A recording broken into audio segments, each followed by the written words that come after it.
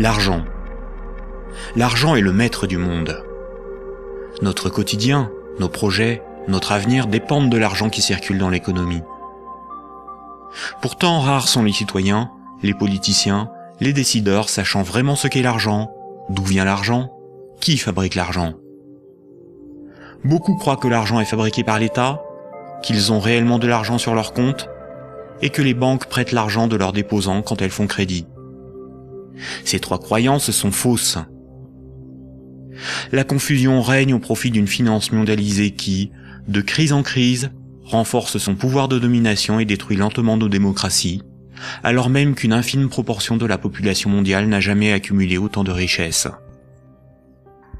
En partant de ce que tout le monde connaît, pas à pas, en employant les termes techniques, en illustrant chaque principe par des exemples simples, ce document vous donne les bases indispensables à la compréhension du système bancaire et monétaire, et met en perspective les crises financières et économiques qui ne cessent de s'aggraver depuis 2008.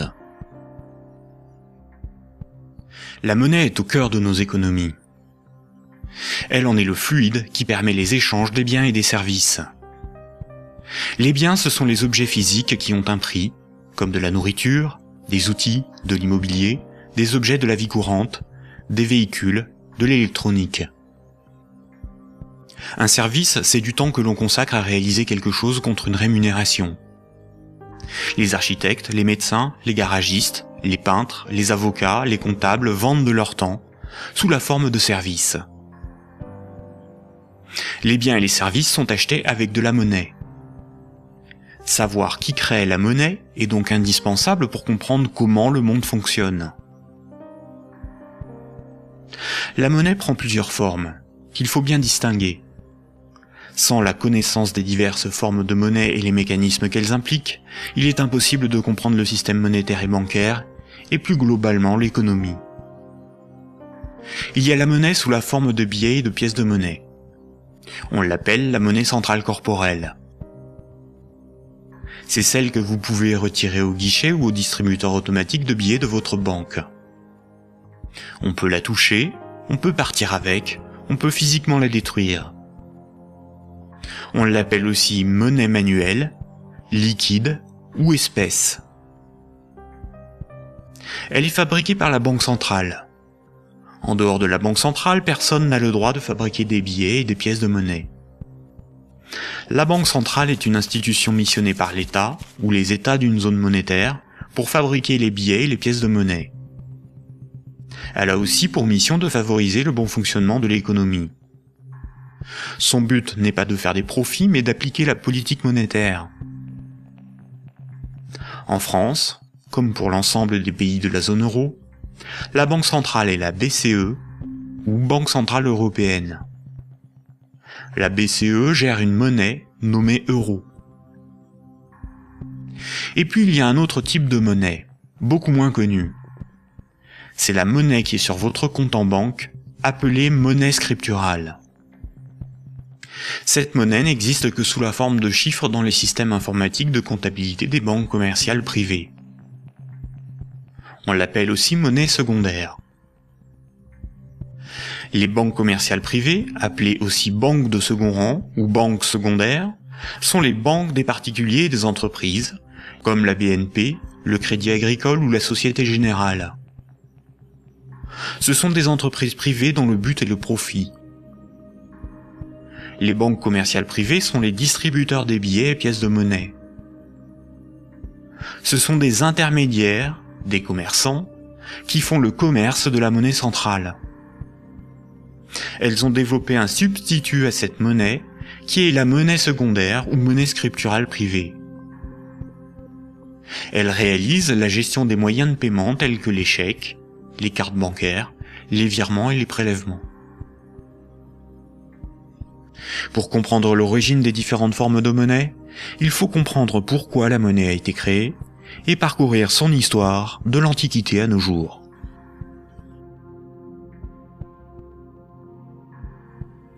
L'histoire de la monnaie s'étale sur des milliers d'années. La plupart des gens pensent que la monnaie remplace le troc. Le troc est le fait d'échanger un bien contre un autre. Par exemple, lorsque Paul et Jacques se rencontrent, Paul voudrait échanger 5 salades contre 10 kilos de pommes de terre. Sauf que si Jacques n'accepte pas de salade en échange de ses pommes de terre, il accepterait quelque chose d'autre, une denrée dont tout le monde a besoin. La monnaie serait apparue spontanément par la sélection de marchandises parmi les plus pratiques et les plus recherchées pour ces échanges immédiats. Dans un premier temps, le riz, l'avoine ou les animaux auraient été utilisés comme monnaie jusqu'à l'apparition de monnaies métalliques, d'or ou d'argent, forme ultime de monnaie. Le crédit ne serait apparu que plus tard quand de la monnaie fut accumulée pour être prêtée à ceux qui en avaient besoin. Malheureusement, cette hypothèse n'a strictement aucune réalité historique. Les historiens ne cessent de le répéter. Ce n'est pas le troc qui apparut en premier, mais le crédit, c'est-à-dire la comptabilité des dettes, bien avant l'apparition de la monnaie. Le troc n'a pour ainsi dire quasiment jamais existé. Imaginons des paysans de l'Antiquité. Paul produit des salades qu'il récolte au printemps, et Jacques produit des pommes de terre qu'il récolte à l'automne. Jacques va emprunter 5 salades à Paul au printemps. Jacques doit l'équivalent de 5 salades à Paul. Ce n'est qu'à l'automne, six mois plus tard, que Jacques va le rembourser en lui donnant 10 kilos de pommes de terre. C'est la confiance qui permet ces échanges différés. On peut dire que Paul et Jacques se font confiance. Ils partagent un même principe moral qui est qu'une dette doit être honorée. Cela leur permet de se faire crédit. Quand Jacques demande des salades à Paul, il se sent redevable envers Paul. Jacques ne sera libre que quand il aura remboursé Paul des jours, des mois, des années plus tard, car il a une dette envers lui. Les hommes pouvaient se prêter des outils, des animaux, s'échanger des biens, mais aussi des services. Au-delà d'un certain volume d'échange, la parole donnée ne suffit plus à garantir la confiance, il faut consigner par écrit. On invente l'écriture. Alors il faut apprendre à lire, écrire et compter. On invente l'école. Il faut aussi avoir confiance dans la quantité, mesurer ce que l'on échange. On invente les étalons et la métrologie. Enfin, il faut aussi avoir un arbitre en cas de litige. On invente les tribunaux les communautés prenaient une unité de compte virtuelle ou un étalon pour donner un prix aux biens et aux services qu'ils s'échangeaient. Si 5 salades valaient 10 unités de compte, alors quand Paul donnait 5 salades à Jacques, il lui devait 10 unités de compte. On a retrouvé nombre d'objets servant de registre de dette. Des bâtons, des boules d'argile, des papyrus, des bouts de tissu, des figurines. Parmi les plus anciens registres figurent des centaines de milliers de tablettes d'argile de l'époque sumérienne où étaient tenus des comptes et consignés des dettes. Ces tablettes étaient gérées par des temples proches des marchés. Personne ne pouvait empêcher les hommes de se faire crédit. Les unités de compte nécessaires à donner un prix à ce qui s'échangeait n'étaient qu'indicatives. Il n'est pas nécessaire de se procurer ou d'acheter des centimètres à chaque fois que l'on mesure ce que l'on prête à autrui.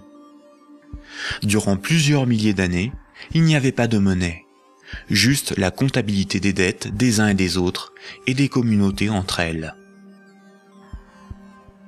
Ce n'est que beaucoup plus tard, environ 700 ans avant Jésus-Christ, que des souverains ou des castes régnantes ont imposé l'usage de monnaie comme moyen d'échange, sous la forme d'un objet dont ils s'attribuaient l'exclusivité de la production.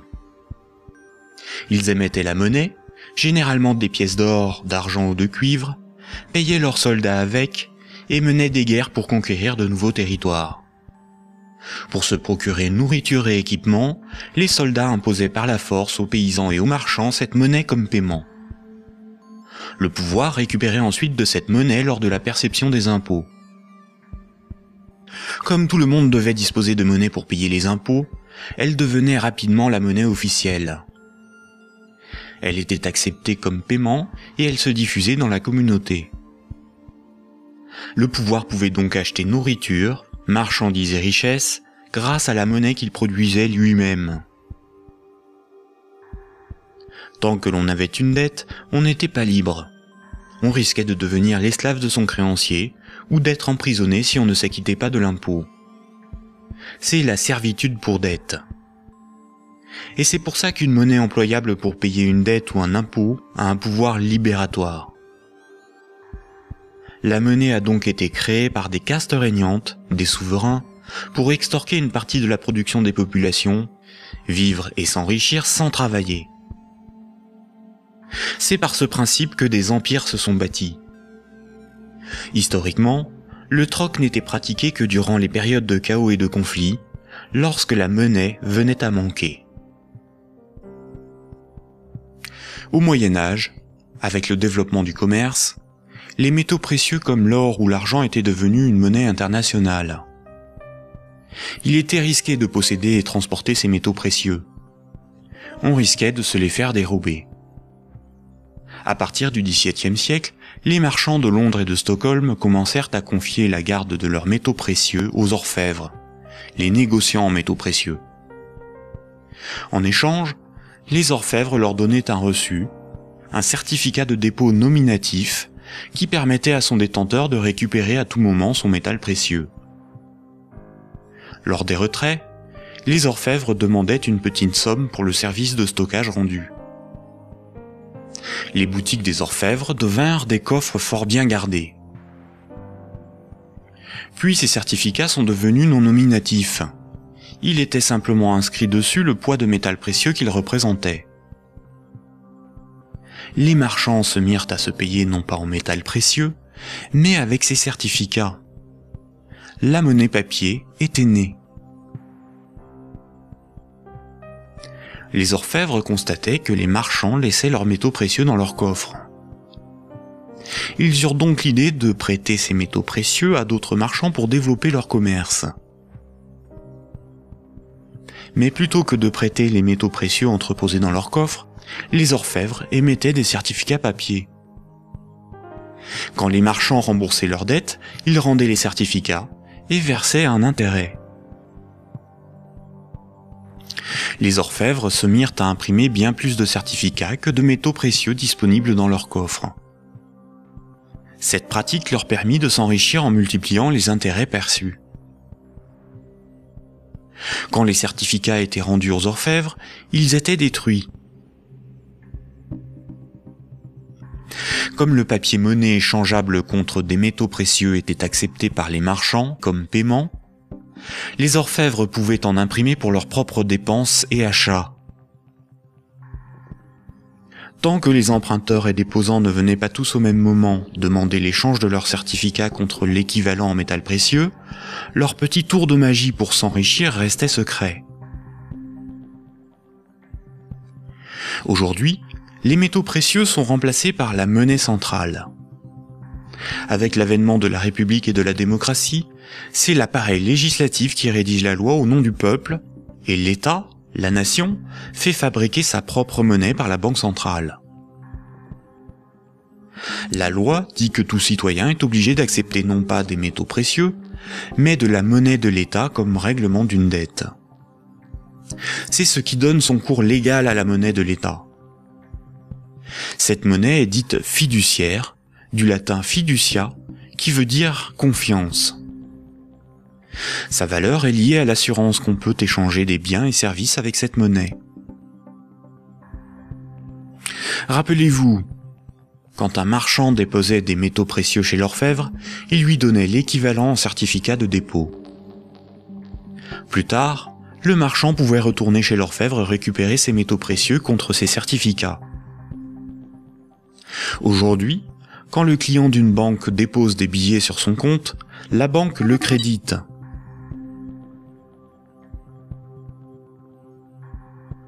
il lui est possible de les retirer de son compte plus tard.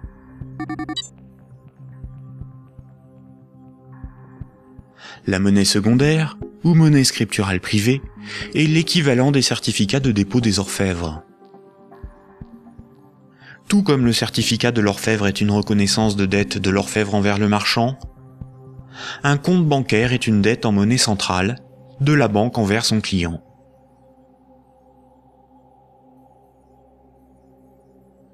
Du temps des orfèvres, quand les marchands se payaient en métaux précieux, c'est comme lorsqu'aujourd'hui, on paie les commerçants avec de la monnaie centrale, des billets de banque. Ensuite, quand les marchands se payaient avec des certificats de dépôt de l'orfèvre, c'est comme lorsqu'aujourd'hui, on paie un commerçant par un transfert de monnaie scripturale de notre compte bancaire à celui du commerçant.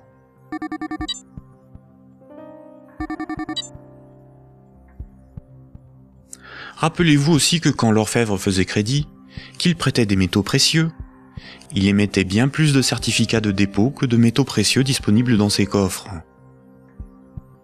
Quand les marchands le remboursaient, il détruisait ces certificats. C'est la même chose aujourd'hui avec la monnaie scripturale privée. Quand une banque accorde un crédit, elle crée de la monnaie scripturale sur un compte à partir de rien.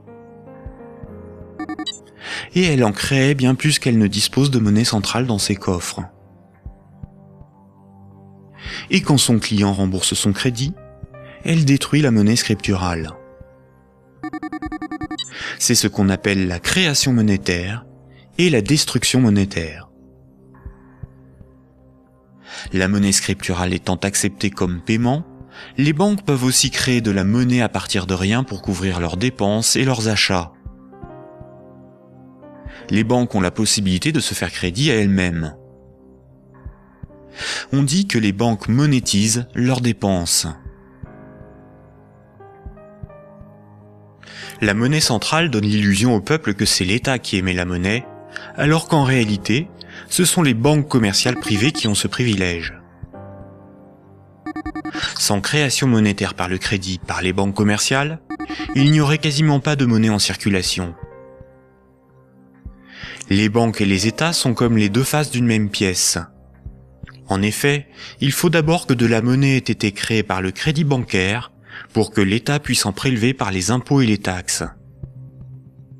Et les banques ont besoin des États pour établir une législation protégeant ce privilège et faire appliquer cette législation par la justice et les forces de l'ordre. Nous allons détailler maintenant ces mécanismes bancaires et leurs nombreuses conséquences. Tout le monde a un compte en banque. C'est plus sûr et c'est plus simple que d'avoir chez soi une caisse remplie de billets de banque. Beaucoup de gens s'imaginent qu'un compte en banque est une boîte dans laquelle sont rangés des billets de banque. En réalité, la banque a une réserve unique de billets de banque et les comptes en banque n'ont aucune réalité physique. Ce sont juste des chiffres dans la comptabilité de la banque commerciale, ce sont des unités de compte.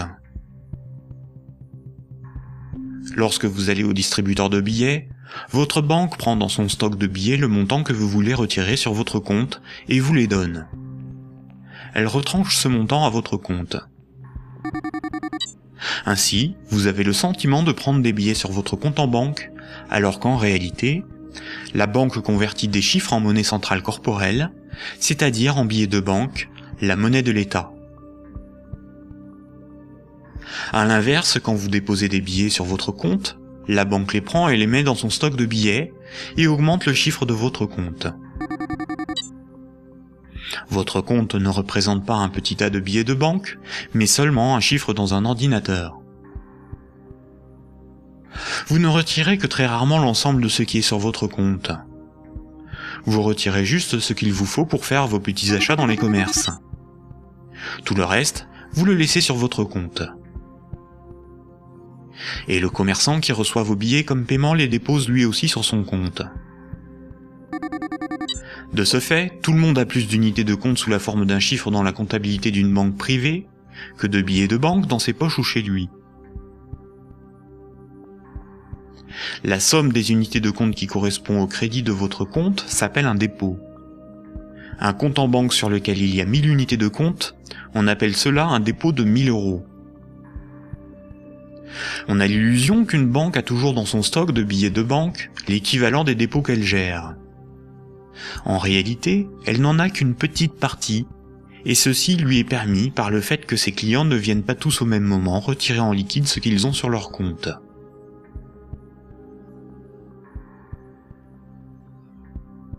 En Europe, la monnaie centrale est la monnaie qui a cours légal. C'est la monnaie officielle des États de la zone euro, dont l'État français. C'est la monnaie exigée par l'État pour le paiement des impôts et des taxes. La loi oblige les citoyens à accepter les billets de banque comme moyen de paiement, et elle sanctionne sévèrement ceux qui fabriquent de faux billets. En revanche, la monnaie inscrite au crédit d'un compte bancaire n'est qu'une reconnaissance de dette de la banque envers le détenteur du compte. Rien de plus. La loi impose aux banques commerciales privées de convertir ces unités de compte en billets de banque à votre demande. C'est pour cette raison que les banques commerciales appellent ces chiffres des euros. Les chiffres inscrits sur votre relevé de compte sont appelés euros, alors qu'en réalité, ce ne sont pas des euros.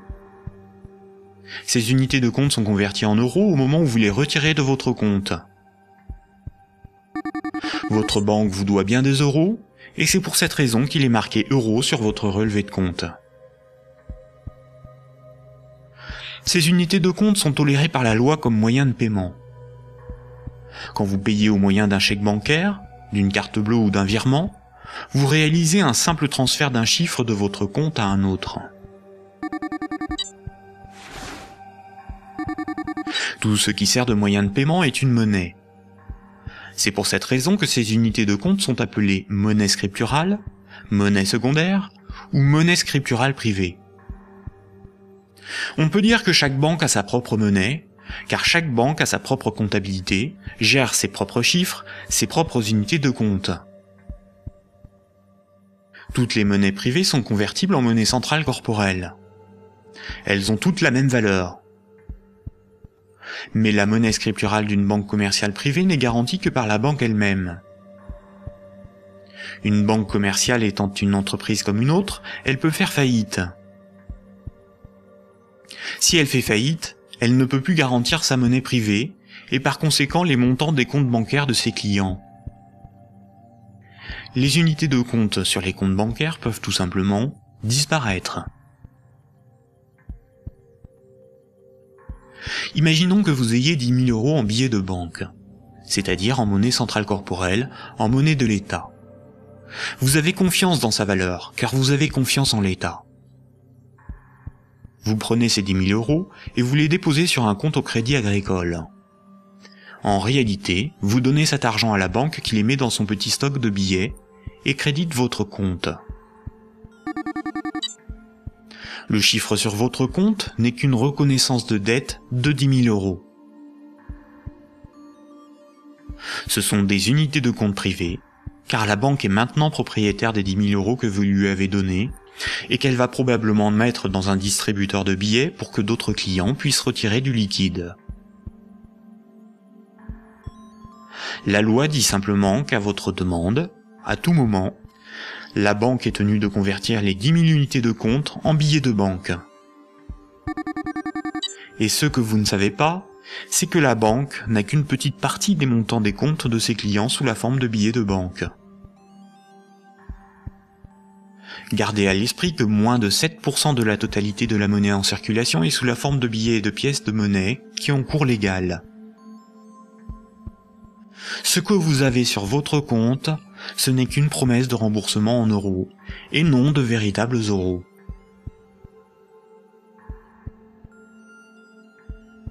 De nos jours, tout le monde paie des sommes de petite et grande taille sans jamais employer de billets de banque. La carte bancaire, la carte de crédit, les chèques bancaires, les prélèvements automatiques et les virements forment l'essentiel des procédés de paiement. Quand un client d'une banque veut transférer de l'argent à un autre client de la même banque pour le payer, que ce soit des entreprises ou des particuliers, la banque ne réalise qu'une manipulation de chiffres. Elle retranche au compte du client la somme inversée et l'ajoute au compte du destinataire. Aucun billet de banque n'est intervenu dans la transaction, et pourtant, les deux clients, en interrogeant leur banque, constatent bien qu'un transfert a été effectué. En revanche, quand un transfert doit être effectué entre les comptes bancaires de deux banques commerciales distinctes et concurrentes, la monnaie centrale intervient.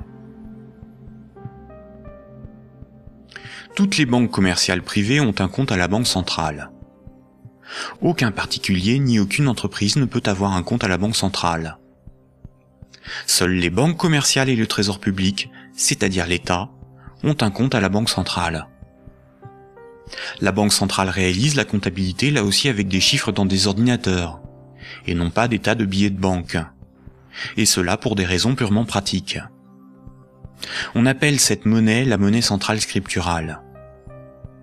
Ces comptes sont en monnaie banque centrale ou monnaie centrale. Quand une banque commerciale a trop de billets, elle peut les déposer sur son compte à la banque centrale. Quand elle en a besoin pour alimenter ses distributeurs automatiques, elle demande à la banque centrale de lui convertir des euros scripturales en billets de banque. Généralement, on ne fait pas la distinction entre monnaie centrale scripturale et monnaie centrale corporelle, c'est-à-dire les billets de banque. On appelle la somme de la monnaie centrale, scripturale et corporelle, la base monétaire. Entre elles, les banques commerciales se paient en monnaie centrale. Les banques n'acceptent pour paiement des autres banques que de la monnaie centrale. Quand un client veut transférer de la monnaie scripturale de son compte vers celui d'un client d'une autre banque, la monnaie scripturale est convertie en monnaie centrale, puis transférée à l'autre banque, qui va encaisser cette monnaie centrale et créditer le compte du destinataire.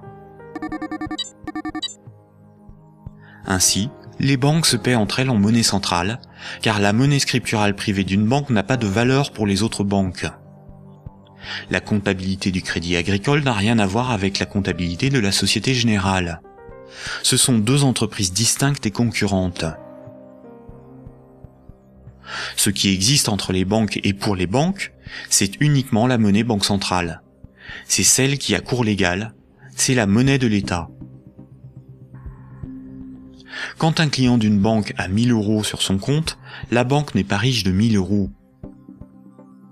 Elle doit simplement 1000 euros en monnaie centrale à ce client. C'est un chiffre dans sa comptabilité.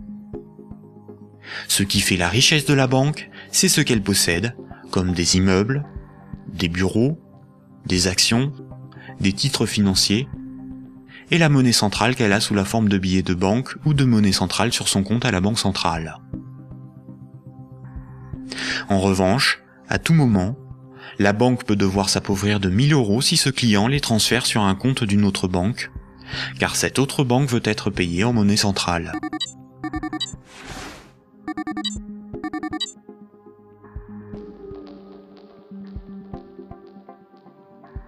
Les banques ne réalisent pas leur paiement en banque centrale à chaque fois qu'un transfert est réalisé.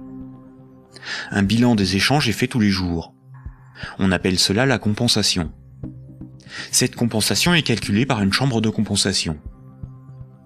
Une chambre de compensation gère un système informatique enregistrant un très grand nombre de comptes en banque et de transactions, afin de faire le bilan des échanges entre les organismes financiers, dont les banques. La chambre de compensation la plus connue est Clearstream, à cause de l'affaire politico-financière qui porte son nom. Imaginons deux banques. Un client de la première banque paie 10 euros à un client de la seconde.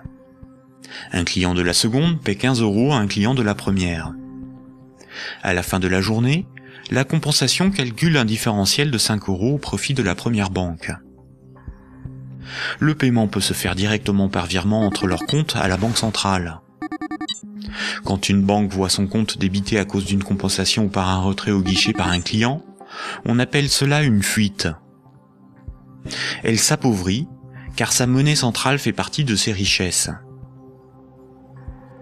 Imaginons une banque qui a quatre déposants qui ont chacun 25 000 unités de compte. On peut dire que la banque doit 100 000 euros à ses clients. Imaginons que cette banque a 10 000 euros sur son compte à la banque centrale. La banque est incapable de couvrir la fuite du montant total des comptes de ses clients. Elle est potentiellement en faillite, car 90 000 unités de compte de ses clients ne sont pas couverts par de la monnaie centrale. Seuls 10 000 euros en billets peuvent être versés à l'ensemble de ses clients. C'est le principe de la couverture partielle des dépôts, appelé système à réserve fractionnaire.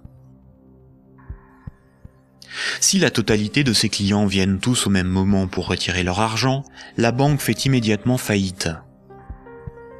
Quand tous les clients d'une banque viennent retirer tout leur argent, c'est ce que l'on appelle un bank run. Face à cette situation, les autorités ont mis en place un fonds en monnaie centrale en cas de faillite bancaire, le fonds de garantie des dépôts bancaires. En France, ce fonds se porte officiellement garant de 100 000 euros maximum par compte bancaire. Malheureusement, La plupart des grandes banques gèrent des dépôts bien supérieurs à ce qu'il y a dans ce fonds. Le fonds est d'environ 2 milliards d'euros, alors que les banques françaises gèrent près de 1000 fois plus de dépôts en monnaie scripturale. Par conséquent, la faillite de quelques grandes banques du monde provoquerait la disparition d'une partie des dépôts bancaires de leurs clients. Le trésor public, c'est la caisse de l'État.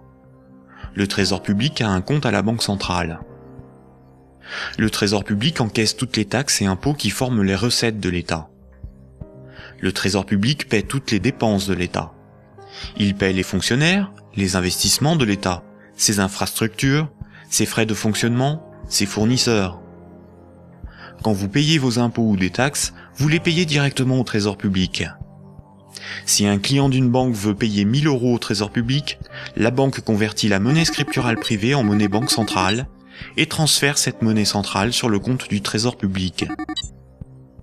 Le trésor public n'accepte pour paiement que la monnaie centrale.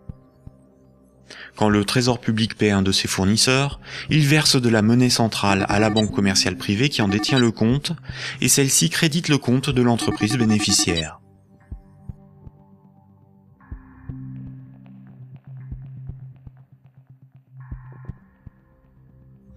Récapitulons. Le système monétaire est basé sur deux espaces monétaires distincts et isolés. L'espace de la monnaie centrale et l'espace de la monnaie scripturale privée. La monnaie centrale, c'est la monnaie de l'État. La monnaie centrale sert aux banques et au trésor public pour se payer. La monnaie scripturale privée, ou monnaie secondaire, c'est la monnaie gérée par les banques commerciales privées. Les particuliers et les entreprises utilisent principalement cette monnaie. Quand un citoyen reçoit son salaire, c'est par transfert de monnaie scripturale privée.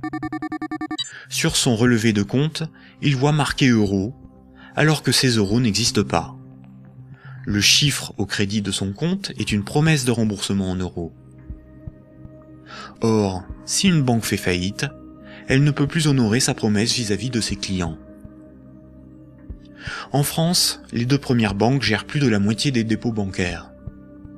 Aucun gouvernement ne permettra à une grande banque de faire faillite, car des millions de citoyens et d'entreprises perdraient une partie de leur argent. Ce serait une catastrophe sociale que l'ensemble de la société devrait compenser par l'appauvrissement général de la population. Toute entreprise peut faire faillite si elle est mal gérée, même les plus importantes. Mais cette règle ne s'applique pas aux grandes banques les gouvernements les sauvent en taxant l'ensemble des citoyens si nécessaire. Voici ce qu'en pense Frédéric Lordon, économiste, directeur de recherche au CNRS et chercheur au Centre de sociologie européenne. Frédéric Lordon, vous êtes plus radical euh, J'en ai peur. C'est-à-dire, il, me semble que derrière euh, toutes les argumentations techniques du monde, il y a une question préjudicielle qui est une question de principe.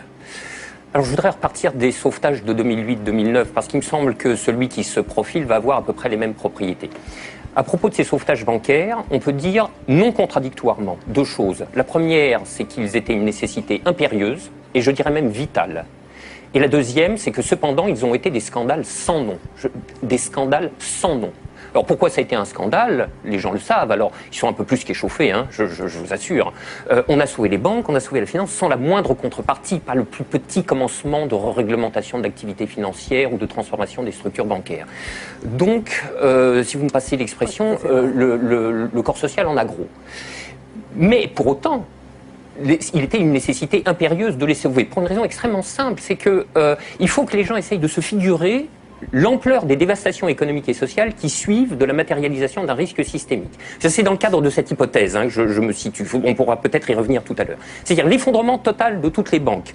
Les transactions les plus élémentaires deviennent impossibles. Je veux dire, aller acheter euh, son pain à la boulangerie, ça, ça marche plus. Tout simplement parce que retirer de l'argent au distributeur à billets, ça marche pas. Faire un chèque, ça marche pas. Une carte bleue, ça marche pas. Vous avez les piécettes dans la poche, ça vous mène pas loin. Hein. Vous tenez 4-5 jours en forçant plutôt sur les patates. Et après, c'est retour au jardin potager pour ceux qui en ont un, et pour les autres, c'est retour vers l'état de nature économique. Ce que vous décrivez là, ça semble une catastrophe. Euh, oui, c'est la, catastrophe ultime si les banques ne sont pas sauvées et qu'elles tombent toutes ensemble. Ça pourrait se, produire d'après vous, ça? Alors pour moi, si vous voulez, c'est un événement qui est de l'ordre de l'impensable. C'est-à-dire, c'est un chaos, c'est un chaos social d'une telle ampleur qu'il me semble inconcevable que les États se désintéressent de la chose. Par conséquent, ils sont forcés de venir au secours de la finance qu'ils le veuillent ou non. Et c'est exactement là que se noue le drame, si vous voulez. C'est dans cette articulation entre la nécessité impérieuse d'une part et le scandale de l'autre. Le corps social est forcé, par pouvoir public interposé, de venir au secours des banques, car si les banques calanchent, c'est le corps social qui calanche dans la semaine qui suit. Et forcément, les intérêts matériels de la population sont si intimement liés à la structure bancaire qu'il est impossible de la laisser crever. Et vous voyez donc là où est le, le problème, c'est que de par leur position très particulière dans la structure sociale du capitalisme, les banques sont les dépositaires de fait de deux biens publics vitaux pour une société marchande. vitaux. Le premier, c'est les encaisses monétaires de la population, les dépôts, les épargnes. Je veux dire, si toutes les banques tombent, ceci s'évapore dans l'instant. Et c'est pas la peine de se gargariser avec le fonds de garantie des dépôts. Hein. Ça va si une banque ou deux tombe. Si la totalité s'écroule, le fonds saute comme un bouchon de champagne. Et le deuxième bien public vital, c'est l'intégrité du système des paiements. Et c'est parce que les banques ont capté ces biens publics qu'elles peuvent contraindre l'État, les corps sociaux à leur venir en aide. C'est quoi l'intégrité du système des eh ben, paiements C'est le, le fait que les banques sont les teneurs de compte, qu'elles les mouvementent, qu'elles les débitent, qu'elles les créditent. Donc elles sont les, opératrices. Absolument. C'est pas qu'elles les garantissent, c'est qu'elles opèrent très concrètement et très basiquement les transactions élémentaires. La gestion des moyens de paiement. Et, exactement. Bon, alors si vous voulez, là il y, a une, il y a une situation de fait que les économistes appellent dans leur langage pluriel et amoral, mais dont le vrai nom est prise d'otage. Et celle-là, elle est colossale. Si vous voulez, chaque fois qu'il y a un mouvement social dans les transports ou le ramassage des ordures, on, vous bassine avec la prise d'otage des, des syndicats. Mais ça, c'est une prise d'otage, mais cosmique, c'est énorme. Personne n'en parle jamais. Donc la question de principe est la suivante. Derrière la question du sauvetage des banques et derrière la question des banques tout court, le corps social doit se poser la question de savoir s'il continue de tolérer que ces biens publics vitaux soient ainsi remis à des intérêts privés, et spécialement à des intérêts privés aussi mal éclairés que ceux, de la finance quand elle est mouillée jusqu'au sourcil dans les marchés de capitaux. Je trouve que poser la question, c'est y répondre. Et si on ne répond pas non, cette obligation de venir à la secours, à la rescousse des banques se reposera éternellement. D'où ma conclusion. Il faut envisager la déprivatisation intégrale du secteur bancaire. La nationalisation. Alors, la nationalisation.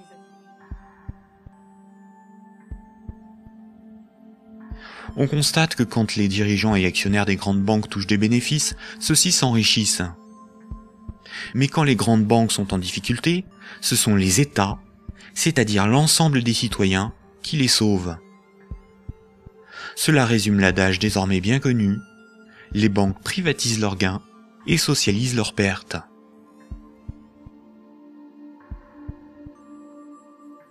Pour bien comprendre le mécanisme de création monétaire, nous devons savoir ce qu'est un actif.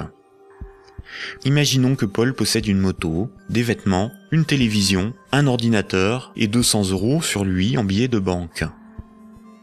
Tout ceci représente ses actifs, car les actifs c'est ce que l'on possède.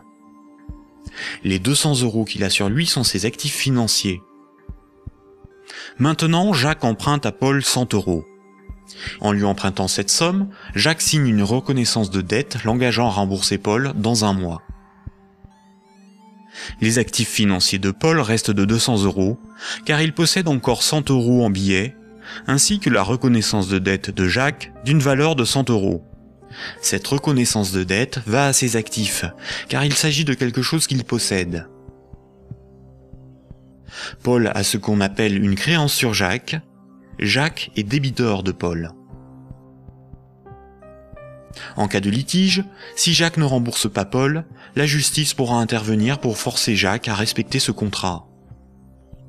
Elle pourra alors le forcer à vendre un de ses actifs matériels pour rembourser Paul, comme sa télévision s'il en a une. Généralement, la comptabilité d'une entreprise ou d'une banque est synthétisée sous la forme d'un bilan. Un bilan comptable est une synthèse permettant de représenter ce que l'entreprise possède, ses actifs, et ce qui lui appartient pas ou ce qu'elle doit, son passif. La différence entre son actif et son passif représente son résultat. On peut aussi l'appliquer à un particulier.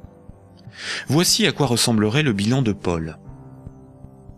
Dans les actifs de Paul figurent ses actifs financiers, constitués de ses billets de banque et de la dette de Jacques, ainsi que ses actifs matériels, constitués de sa télévision, son ordinateur, sa moto, dont la valeur de revente à date est estimée de 1000 euros.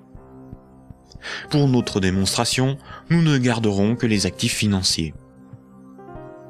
Son bilan financier est positif de 200 euros. Le bilan de Jacques, qui n'avait aucun actif, est celui-ci. Jacques possède 100 euros en billets, mais doit aussi 100 euros à Paul. Le passif, c'est ce qu'on doit. Son bilan est donc nul, car son passif annule son actif. Donc un actif est quelque chose qui a une valeur financière que l'on peut inscrire dans un bilan. S'il est à l'actif du bilan, c'est quelque chose que l'on possède. S'il est au passif du bilan, c'est quelque chose qui ne nous appartient pas et que l'on doit à quelqu'un d'autre. Imaginons maintenant que Nicolas, qui a 300 euros en billets de banque, propose à Paul de lui racheter sa créance sur Jacques. Il va donc pour cela lui donner 100 euros et modifier le bénéficiaire du contrat de sorte que Jacques doive maintenant la somme non plus à Paul, mais à Nicolas. Voici à quoi ressemblerait le bilan de Paul. On constate que Paul a retrouvé ses 200 euros en billets de banque. Son bilan financier est positif de 200 euros. Le bilan de Jacques, qui n'avait aucun actif, n'a pas changé. Son bilan est toujours nul. Le bilan de Nicolas, qui avait 300 euros d'actifs, est maintenant celui-ci. Il reste à Nicolas 200 euros en billets de banque et la reconnaissance de dette de Jacques, qui a une valeur, à terme, de 100 euros. Le bilan de Nicolas est positif de 300 euros. Lorsque Jacques devait 100 euros à Paul, Paul prenait le risque que Jacques ne le rembourse pas. Quand Paul a vendu la reconnaissance de dette à Nicolas, c'est Nicolas qui prend le risque de n'être pas remboursé par Jacques. C'est un transfert de risque sur une créance. Si Jacques ne rembourse pas sa dette, le bilan de Nicolas peut perdre jusqu'à 100 euros. On dit alors que Jacques fait défaut sur tout ou partie de sa dette. Nicolas perdrait 100 euros sur son bilan, correspondant à la créance que Jacques n'a pas honorée. Nous voyons donc qu'une créance peut être un actif et peut être revendue au même titre qu'une moto ou des vêtements. Les actifs matériels ont une valeur estimative. Certains actifs matériels perdent de leur valeur avec le temps. C'est le cas d'un ordinateur ou d'une moto. Ils ne peuvent pas facilement être employés pour régler des dettes. En revanche, les actifs financiers ont une valeur connue. La créance sur Jacques ou les billets de banque ont des valeurs fixes. Le bilan d'une banque se présente comme le bilan de n'importe quelle entreprise. La banque a des actifs qui sont ses richesses, ce qu'elle possède, et un passif qui représente ce qui ne lui appartient pas, ses dettes. Nous avons vu que le crédit d'un compte bancaire d'un client est une dette de la banque envers celui-ci. Les dépôts correspondant au compte bancaire de ses clients sont donc enregistrés au passif de son bilan. Si on lit ce bilan, on comprend que la banque doit au total 600 euros à ses clients. Imaginons qu'un de ses clients, Paul, a un dépôt de 100 unités de compte. Voici le bilan de la banque. Elle doit 100 euros à Paul, ce qui correspond au dépôt que Paul a réalisé sur son compte. Ce compte en banque est dit à vue, c'est-à-dire que Paul peut tout de suite utiliser ses unités de compte pour un paiement. Paul souhaite emprunter 1000 euros à sa banque. La banque établit le contrat de prêt qu'elle lui fait signer. Ce contrat l'engage à rembourser la banque selon un échéancier précis. Paul devra rembourser les 1000 euros empruntés, appelés capital du crédit, plus 50 euros d'intérêt. Pour créditer le compte de Paul, la banque ne prend pas les dépôts d'autres clients pour lui donner. Elle augmente simplement le chiffre inscrit sur son compte bancaire.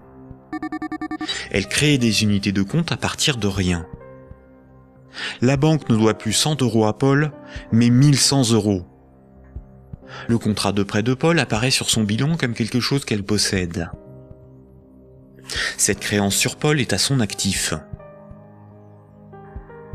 Les comptes des autres clients n'ont rien à voir avec cette opération. On dit que la banque a monétisé la créance sur Paul. Elle a transformé cette créance en moyen de paiement sous la forme de monnaie scripturale privée ajoutée au compte de Paul. On appelle cette opération d'augmentation des dépôts par simple jeu d'écriture la création monétaire. On parle de création monétaire ex nihilo, ce qui veut dire à partir de rien.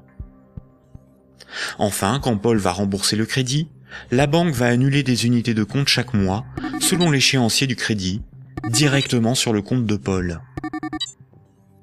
Cette annulation est appelée destruction monétaire.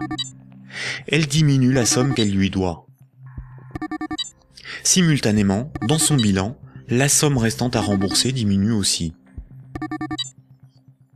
La banque prend le risque que Paul n'arrive pas à rembourser le crédit, qu'il soit insolvable. C'est le risque de faire crédit ou risque de contrepartie.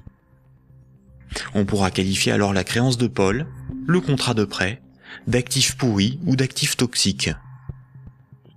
Cette opération de création de moyens de paiement artificiels, tout comme sa destruction progressive lors du remboursement, est difficilement compréhensible pour la plupart des gens, y compris pour ceux qui travaillent dans les banques, même à haut niveau.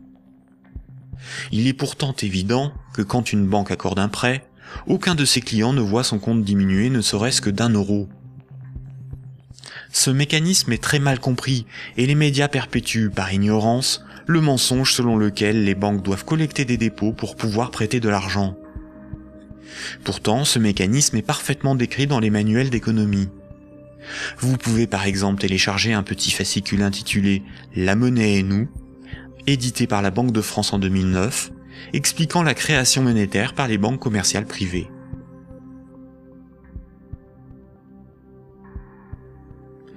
La création et la destruction monétaire peuvent être résumées par une simple phrase. Ce sont les crédits qui font les dépôts, et non les dépôts qui font les crédits. Cette phrase permet de se rappeler que la totalité de la monnaie en circulation sur nos comptes en banque ou dans nos poches est créée par le crédit bancaire. Quand une banque accorde un crédit à un de ses clients, elle crée de la monnaie scripturale privée en augmentant le solde du compte de celui-ci. Elle ne crée pas des euros, mais des unités de compte convertibles en euros. Plus il y a de crédits accordés par les banques, plus il y a de dépôts, de billets et de pièces de monnaie. La totalité de la monnaie en circulation dans l'économie représente ce qu'il reste à rembourser des crédits contractés. Quand Paul achète une automobile à crédit, il paie tout de suite le vendeur avec la monnaie créée. Deux jours plus tard, le vendeur achète une télévision, et un ordinateur. Les vendeurs de la télévision, et de l'ordinateur vont eux aussi réaliser des achats. Paul n'a pas commencé à rembourser son crédit que la monnaie circule déjà dans l'économie. Le nombre de fois dans une année qu'une unité de compte va servir de paiement est appelé vitesse de circulation de la monnaie ou vélocité de la monnaie. Sans unité de compte échangée dix fois pour des paiements, représente 1000 euros de paiement. L'argent qui circule de compte en compte est donc en réalité une dette qui circule. Les billets et pièces de monnaie en circulation sont une conversion de monnaie scripturale privée créée lors des crédits. Chaque unité de monnaie scripturale sur nos comptes bancaires et chaque billet ou pièce de monnaie dans nos poches a été créé lorsqu'un particulier, une entreprise ou un État a emprunté de l'argent à une banque.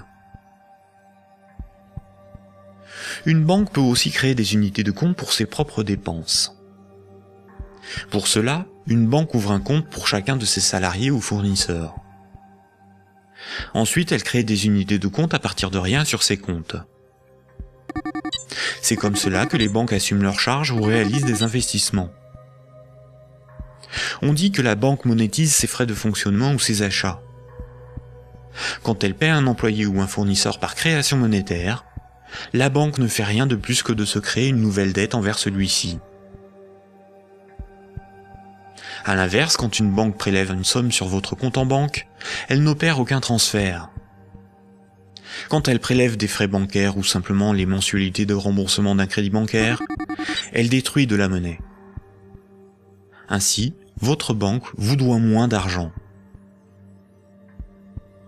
Comme nous l'avons vu, historiquement, la monnaie remplaçant le troc est un mythe qui vous laisse penser que la monnaie est un élément physique permanent, et donc il y a quelque chose sur votre compte.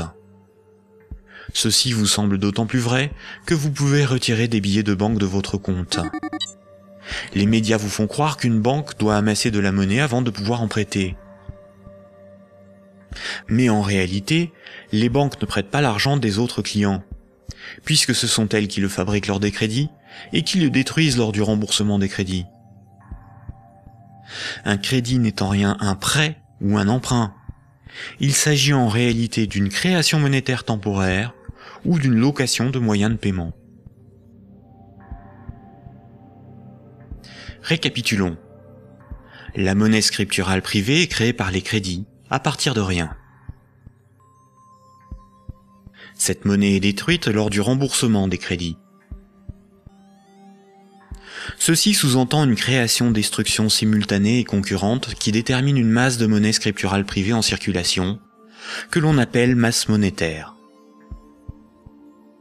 C'est similaire à la population d'un pays qui varie en fonction des décès et des naissances.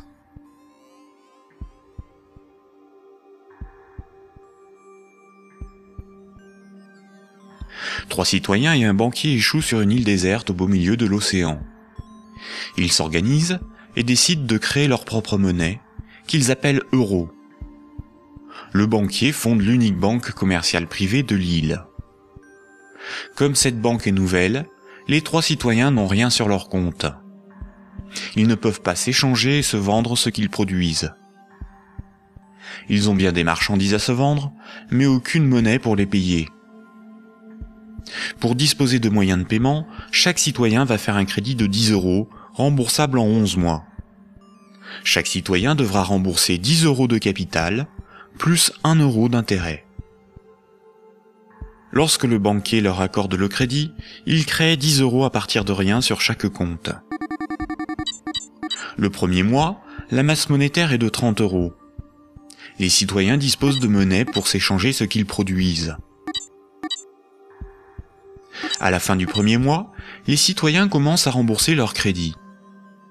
Le banquier prélève 1 euro d'intérêt qu'il utilise pour acheter des marchandises aux citoyens. La masse monétaire reste de 30 euros. À l'issue du deuxième mois, le banquier efface 1 euro du compte de chaque citoyen. Il reste 27 euros en circulation. À l'issue du troisième mois, le banquier efface à nouveau un euro du compte de chaque citoyen. Il reste 24 euros en circulation. De mois en mois, la situation devient un peu plus compliquée, car la masse monétaire ne cesse de baisser. Les citoyens se retrouvent en concurrence pour capter l'argent. À l'issue du onzième mois, après une farouche concurrence entre les trois citoyens pour capter la monnaie restante, leurs comptes sont vides, car tout le monde a remboursé exactement ce qu'il avait emprunté à la banque. Plus rien ne peut être ni acheté ni vendu. C'est la crise économique. Le banquier réunit les citoyens et leur dit ⁇ Pour résoudre cette situation, c'est très simple. Vous n'avez qu'à m'emprunter à nouveau de l'argent. Les citoyens acceptent. Ils font tous à nouveau un crédit de 10 euros. À la fin du premier mois, le banquier prélève 1 euro d'intérêt qu'il garde pour lui car il a tout ce qu'il lui faut. Au fil des mois, le banquier supprime les euros correspondant au remboursement des crédits. Comme les intérêts n'ont pas été dépensés par le banquier, c'est au bout du dixième mois seulement que les comptes des trois citoyens sont vides. Il n'y a plus de monnaie en circulation, et pourtant il manque 3 euros pour rembourser la totalité de leur crédit. Le banquier réunit les citoyens et leur dit Il y a une manière très simple de repousser le moment où vous serez à zéro sur vos comptes. Vous n'avez qu'à m'emprunter régulièrement de l'argent, bien avant que la masse monétaire ne baisse trop et que l'économie ne s'arrête. Et pour compenser les intérêts que je ne dépense pas, il vous suffit de m'emprunter à chaque fois quelques euros de plus. Les citoyens acceptent. Désormais, ils sont en permanence endettés, Sinon la monnaie disparaît et l'économie s'arrête. Ils appellent cela la croissance. Mais comme ils sont endettés, ils se mettent à produire toujours plus pour rembourser le banquier, bien au-delà de leurs besoins réels. Ils ne produisent pas pour avoir de quoi se vêtir, se nourrir ou se loger. Ils produisent pour avoir l'argent nécessaire pour rembourser leur crédit. L'argent est devenu le moteur de leur vie, et non ce dont ils ont besoin pour vivre. Ce système permet au banquier de ne rien produire. Il passe son temps à gérer ses comptes, à créer de la monnaie puis à la détruire. Avec la monnaie qu'il fabrique, il achète ce dont il a besoin aux citoyens. Rapidement, les ressources naturelles de l'île viennent à manquer. Il n'y a plus de bois, plus de gibier, plus d'eau, plus de terre pour produire toujours plus. La croissance a épuisé les ressources naturelles et détruit l'environnement. Cette petite histoire met en valeur de réalités tout à fait surprenantes. D'une part, les sommes dues aux banques sont globalement supérieures aux sommes disponibles pour les rembourser. D'autre part, si tout le monde remboursait ses dettes, il n'y aurait quasiment plus de monnaie en circulation dans le monde.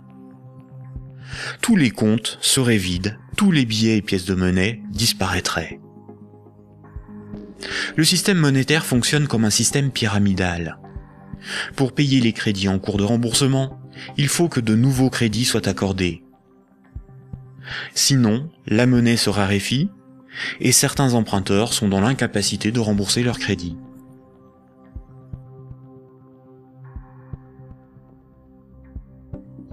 Pour les citoyens et les entreprises, la monnaie s'achète comme toute autre marchandise.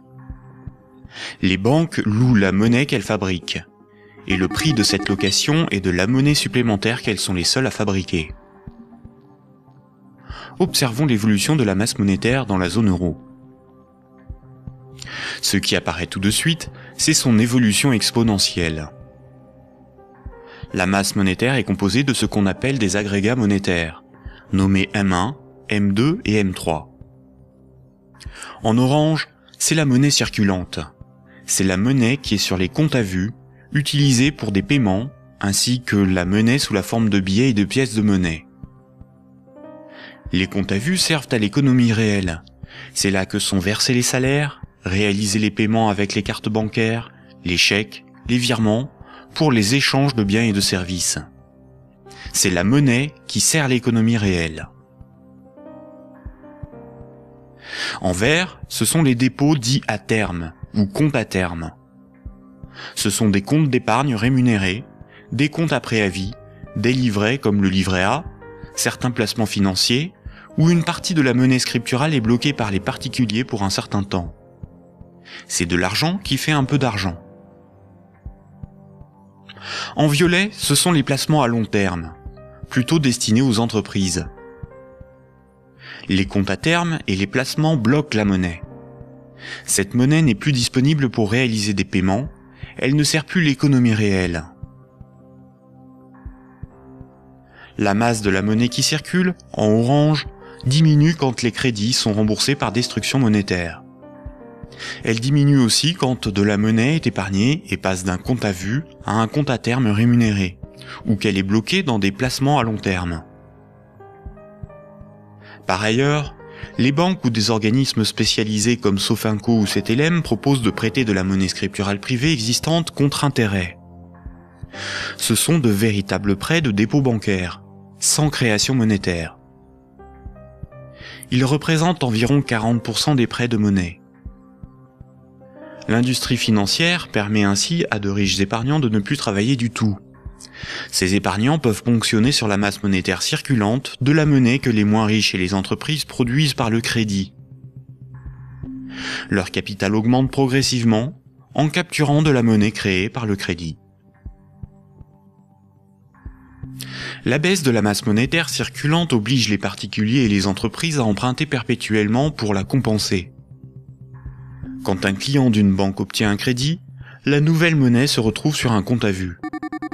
Elle est dépensée pour des achats et va voyager de compte en compte au fil des paiements, jusqu'au moment où elle servira au remboursement d'un crédit et sera détruite.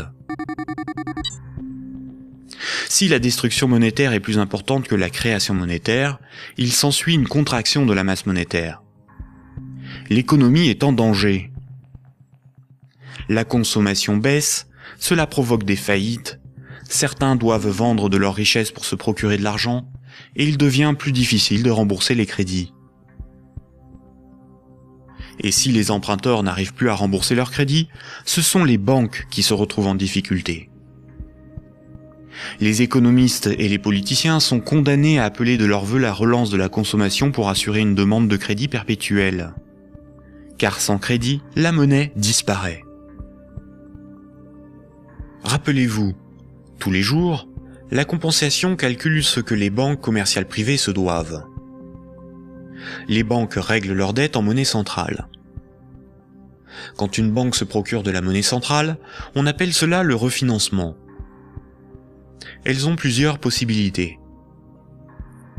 Elles peuvent demander à la Banque centrale un crédit en monnaie centrale.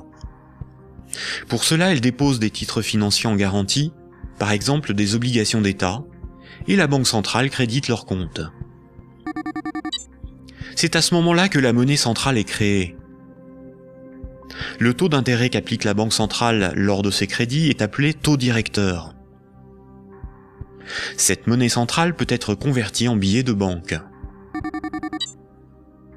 Mais la plupart du temps, les banques commerciales privées se prêtent entre elles de la monnaie centrale ou se font crédit. Elles peuvent pour cela se faire confiance ou se donner là aussi des titres financiers comme garantie. C'est ce qu'on appelle le marché interbancaire. Comme toutes les banques se font crédit, se prêtent de la monnaie centrale ou des titres financiers, cela fait qu'elles sont toutes liées les unes aux autres. Si une grande banque fait faillite et qu'elle ne rembourse pas ce qu'elle avait emprunté aux autres banques, ce sont toutes les autres banques qui font faillite par effet domino. En 2008, les dérives du système financier ont provoqué une crise de liquidité dans le système bancaire. La crise de liquidité fait que les banques n'arrivent plus à régler leurs dettes à se procurer de la monnaie centrale ou à se faire crédit. Les banques ont alors cessé d'accorder des crédits. L'évolution normale de la masse monétaire aurait dû être celle-ci. Malheureusement, la crise bancaire a stoppé la progression de la masse monétaire et s'est transformée en crise économique. Les États ont dû sauver les banques de la faillite. Mais le véritable coût de la crise financière est l'explosion de la dette des États pour éviter une aggravation de la crise, des milliers de faillites d'entreprises, des millions de nouveaux chômeurs. À l'avenir, une partie des dépôts bancaires pourrait être supprimée pour sauver les banques. Ainsi, les banques doivent moins d'argent à leurs clients, ce qui équilibre leur bilan. C'est ce qui s'est passé à Chypre en 2013. À partir de 2009, certaines banques centrales ont créé et donné des milliards en monnaie centrale aux banques commerciales pour faciliter le règlement de leurs dettes et ainsi leur éviter la faillite et relancer le crédit. C'est ce qu'on appelle des politiques d'assouplissement quantitatif ou quantitative easing. Cette monnaie centrale nouvelle pourrait être représentée sur ce graphique en tant que M0, appelée aussi base monétaire. Plutôt que d'accorder des crédits aux entreprises et aux particuliers avec une rentabilité incertaine, les banques commerciales privées ont utilisé cette monnaie centrale pour spéculer et acheter de la dette souveraine. Ainsi, d'une manière totalement artificielle, les bourses n'ont cessé de monter, la finance de s'enrichir et les États de s'endetter. Puisque pour rembourser les crédits passés, il faut que de nouveaux crédits soient accordés, on comprend mieux pourquoi les politiques d'austérité et de désendettement sont un suicide économique. Le crédit permet aux particuliers et aux entreprises d'acquérir des biens réels et à l'économie de se développer. La masse monétaire augmente. Une politique d'austérité provoque une contraction de la masse monétaire, condamnant à la faillite certains emprunteurs, qu'ils soient des particuliers, des entreprises ou des États les banques de ces emprunteurs peuvent saisir leurs maisons, leurs machines, leurs stocks. les États doivent privatiser les services publics pour rembourser les marchés financiers. La baisse de la masse monétaire provoque la rareté de la monnaie, et cette rareté provoque in fine des transferts de richesses réelles des débiteurs vers la minorité des créanciers, notamment les banques. C'est similaire au processus organisé par l'Occident vis-à-vis des pays en voie de développement. On endette ces pays pour qu'ils nous achètent des infrastructures, des machines, des moyens de production, via des prêts du FMI et de la Banque mondiale. Incapables de rembourser les crédits, leur faillite permet de saisir les ressources naturelles ou même ceux qu'ils ont achetés grâce à ces crédits. Le PIB d'un pays, c'est approximativement la somme des revenus dans ce pays en une année. Dans la zone euro, la dette des États représente 90% du PIB. Et les dettes du secteur privé représentent 160% du PIB. En d'autres termes, pour rembourser toutes les dettes, il nous faudrait travailler deux ans et demi en donnant tous nos revenus aux banques et aux marchés financiers. Or, si on remboursait toutes nos dettes, il n'y aurait plus de monnaie en circulation. Ce système pyramidal de dette n'est viable que dans un équilibre précaire. Car la capacité des emprunteurs à rembourser leurs crédits dépend de la capacité d'autres emprunteurs à contracter de nouveaux crédits.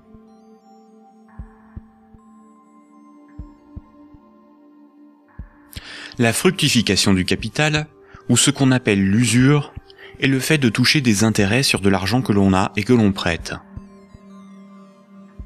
Imaginons un pays où 10 citoyens ont tous 10 euros. Si l'un d'eux prête ces 10 euros avec 10% d'intérêt, il va lui être remboursé 11 euros. S'il le fait 10 fois, les autres citoyens de ce pays auront perdu chacun 1 euro. S'il le fait 90 fois, il possédera les 9 dixièmes des richesses du pays sans avoir travaillé. C'est son capital qui travaille, pas lui.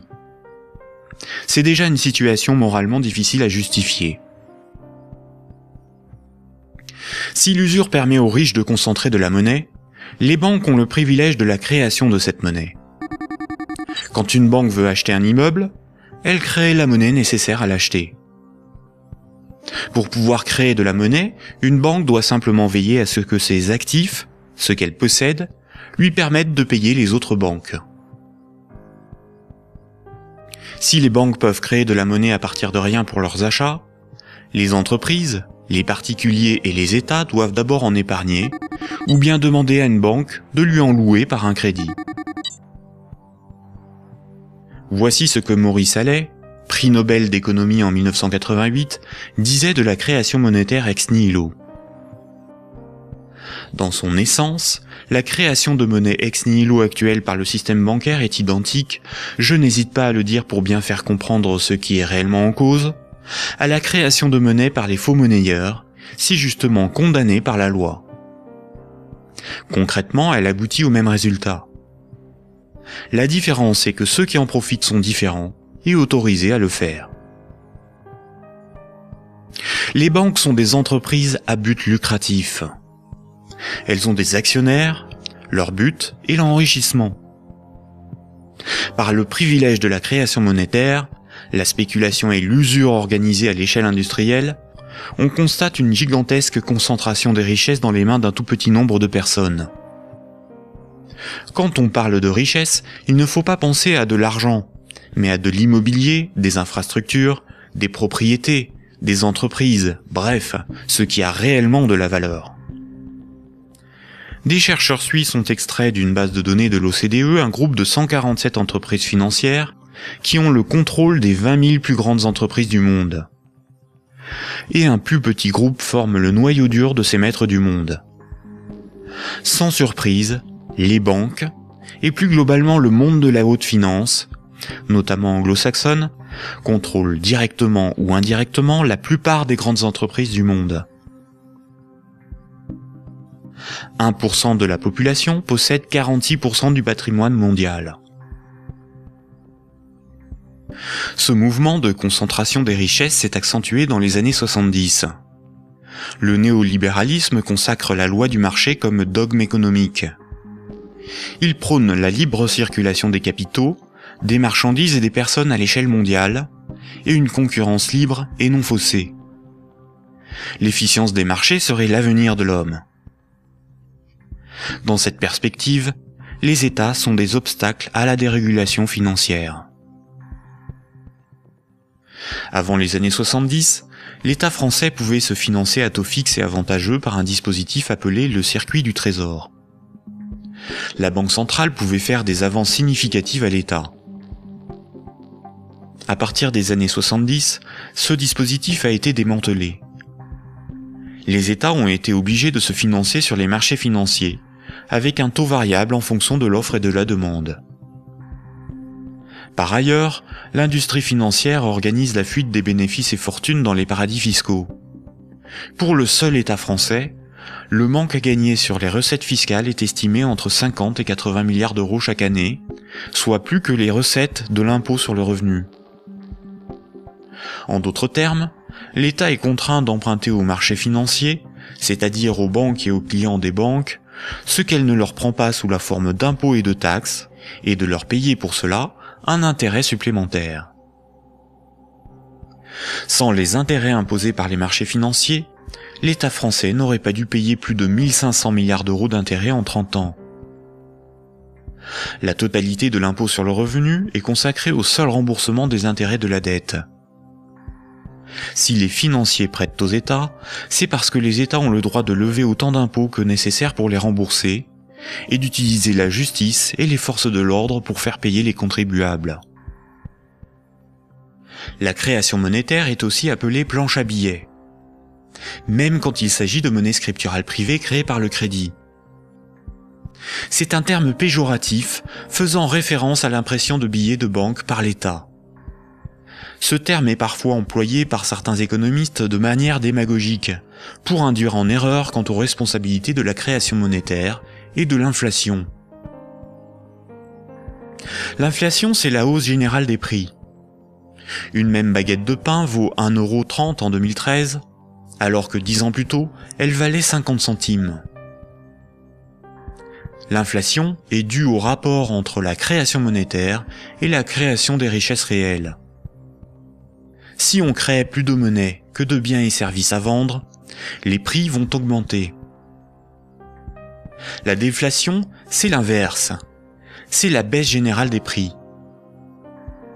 Si on crée des biens et services à vendre, et qu'on ne crée pas de monnaie pour les acheter, la monnaie va manquer et les prix vont baisser. L'hyperinflation est une inflation excessive des prix, supérieure à 12 500% par an.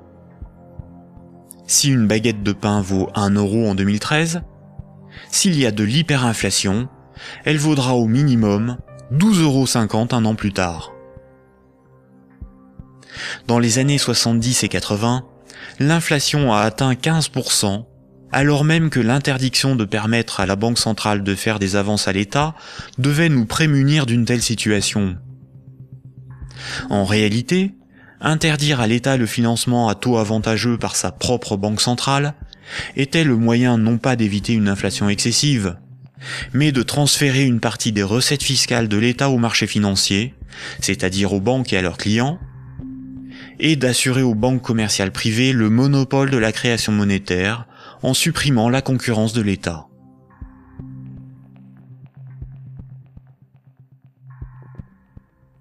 Voici ce qu'on pouvait lire en 1924, avant la Grande Dépression de 1929, dans le magazine de l'Association des banquiers des États-Unis. Le capital doit assurer sa propre protection par tous les moyens possibles, grâce à la coalition et à la législation. Les dettes doivent être collectées et les hypothèques exercées le plus rapidement possible. Lorsque les personnes ordinaires perdent leur maison à travers le processus de la loi, elles deviennent plus dociles et peuvent plus facilement être dirigées grâce au bras fort du gouvernement représenté par les principaux acteurs financiers et par une puissance centrale due aux richesses. Ces vérités sont bien connues de nos principaux intervenants, qui s'appliquent désormais à créer un impérialisme permettant de gouverner le monde. En divisant les votants grâce au système de partis politiques, nous les manipulons afin qu'ils dépensent toute leur énergie pour des problèmes n'ayant aucune importance. C'est donc grâce à une action discrète que nous garantirons la pérennité de ce que nous avons si bien planifié et accompli. Rappelez-vous, dans l'Antiquité, la monnaie physique a été inventée par des souverains pour lever des armées, conquérir de nouveaux territoires et instaurer une dépendance des peuples à la monnaie par la levée des impôts. Toutes les dettes devaient être réglées avec la monnaie du souverain. Cela lui permettait d'acheter les richesses aux populations avec la monnaie qu'il fabriquait lui-même.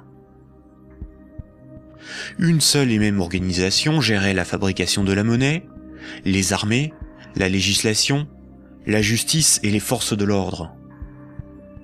Aujourd'hui encore, la monnaie reste un instrument de domination et un élément clé de la géopolitique. Le siècle dernier a été celui du dollar américain. Le dollar américain est de loin la monnaie la plus répandue sur Terre. Le budget militaire américain est égal aux dépenses militaires de tous les autres pays réunis. Tous les ans, ce budget est voté par le Congrès et généreusement financé par la Banque fédérale américaine. Fondée en 1913, la Banque fédérale américaine est une banque privée et non une institution publique. La force militaire permet aux États-Unis d'assurer le statut de monnaie de réserve mondiale au dollar américain et de l'imposer dans le commerce international. Avant les attentats du 11 septembre 2001, les pays clés indépendants du système monétaire anglo-saxon étaient l'Afghanistan, l'Irak, le Soudan, la Libye, la Syrie, Cuba, la Corée du Nord, la Somalie et l'Iran. Les États-Unis et leurs alliés ont attaqué l'Afghanistan, l'Irak et la Libye. En Libye, une banque centrale opérationnelle a été créée par les soi-disant rebelles avant même que la guerre ne soit finie.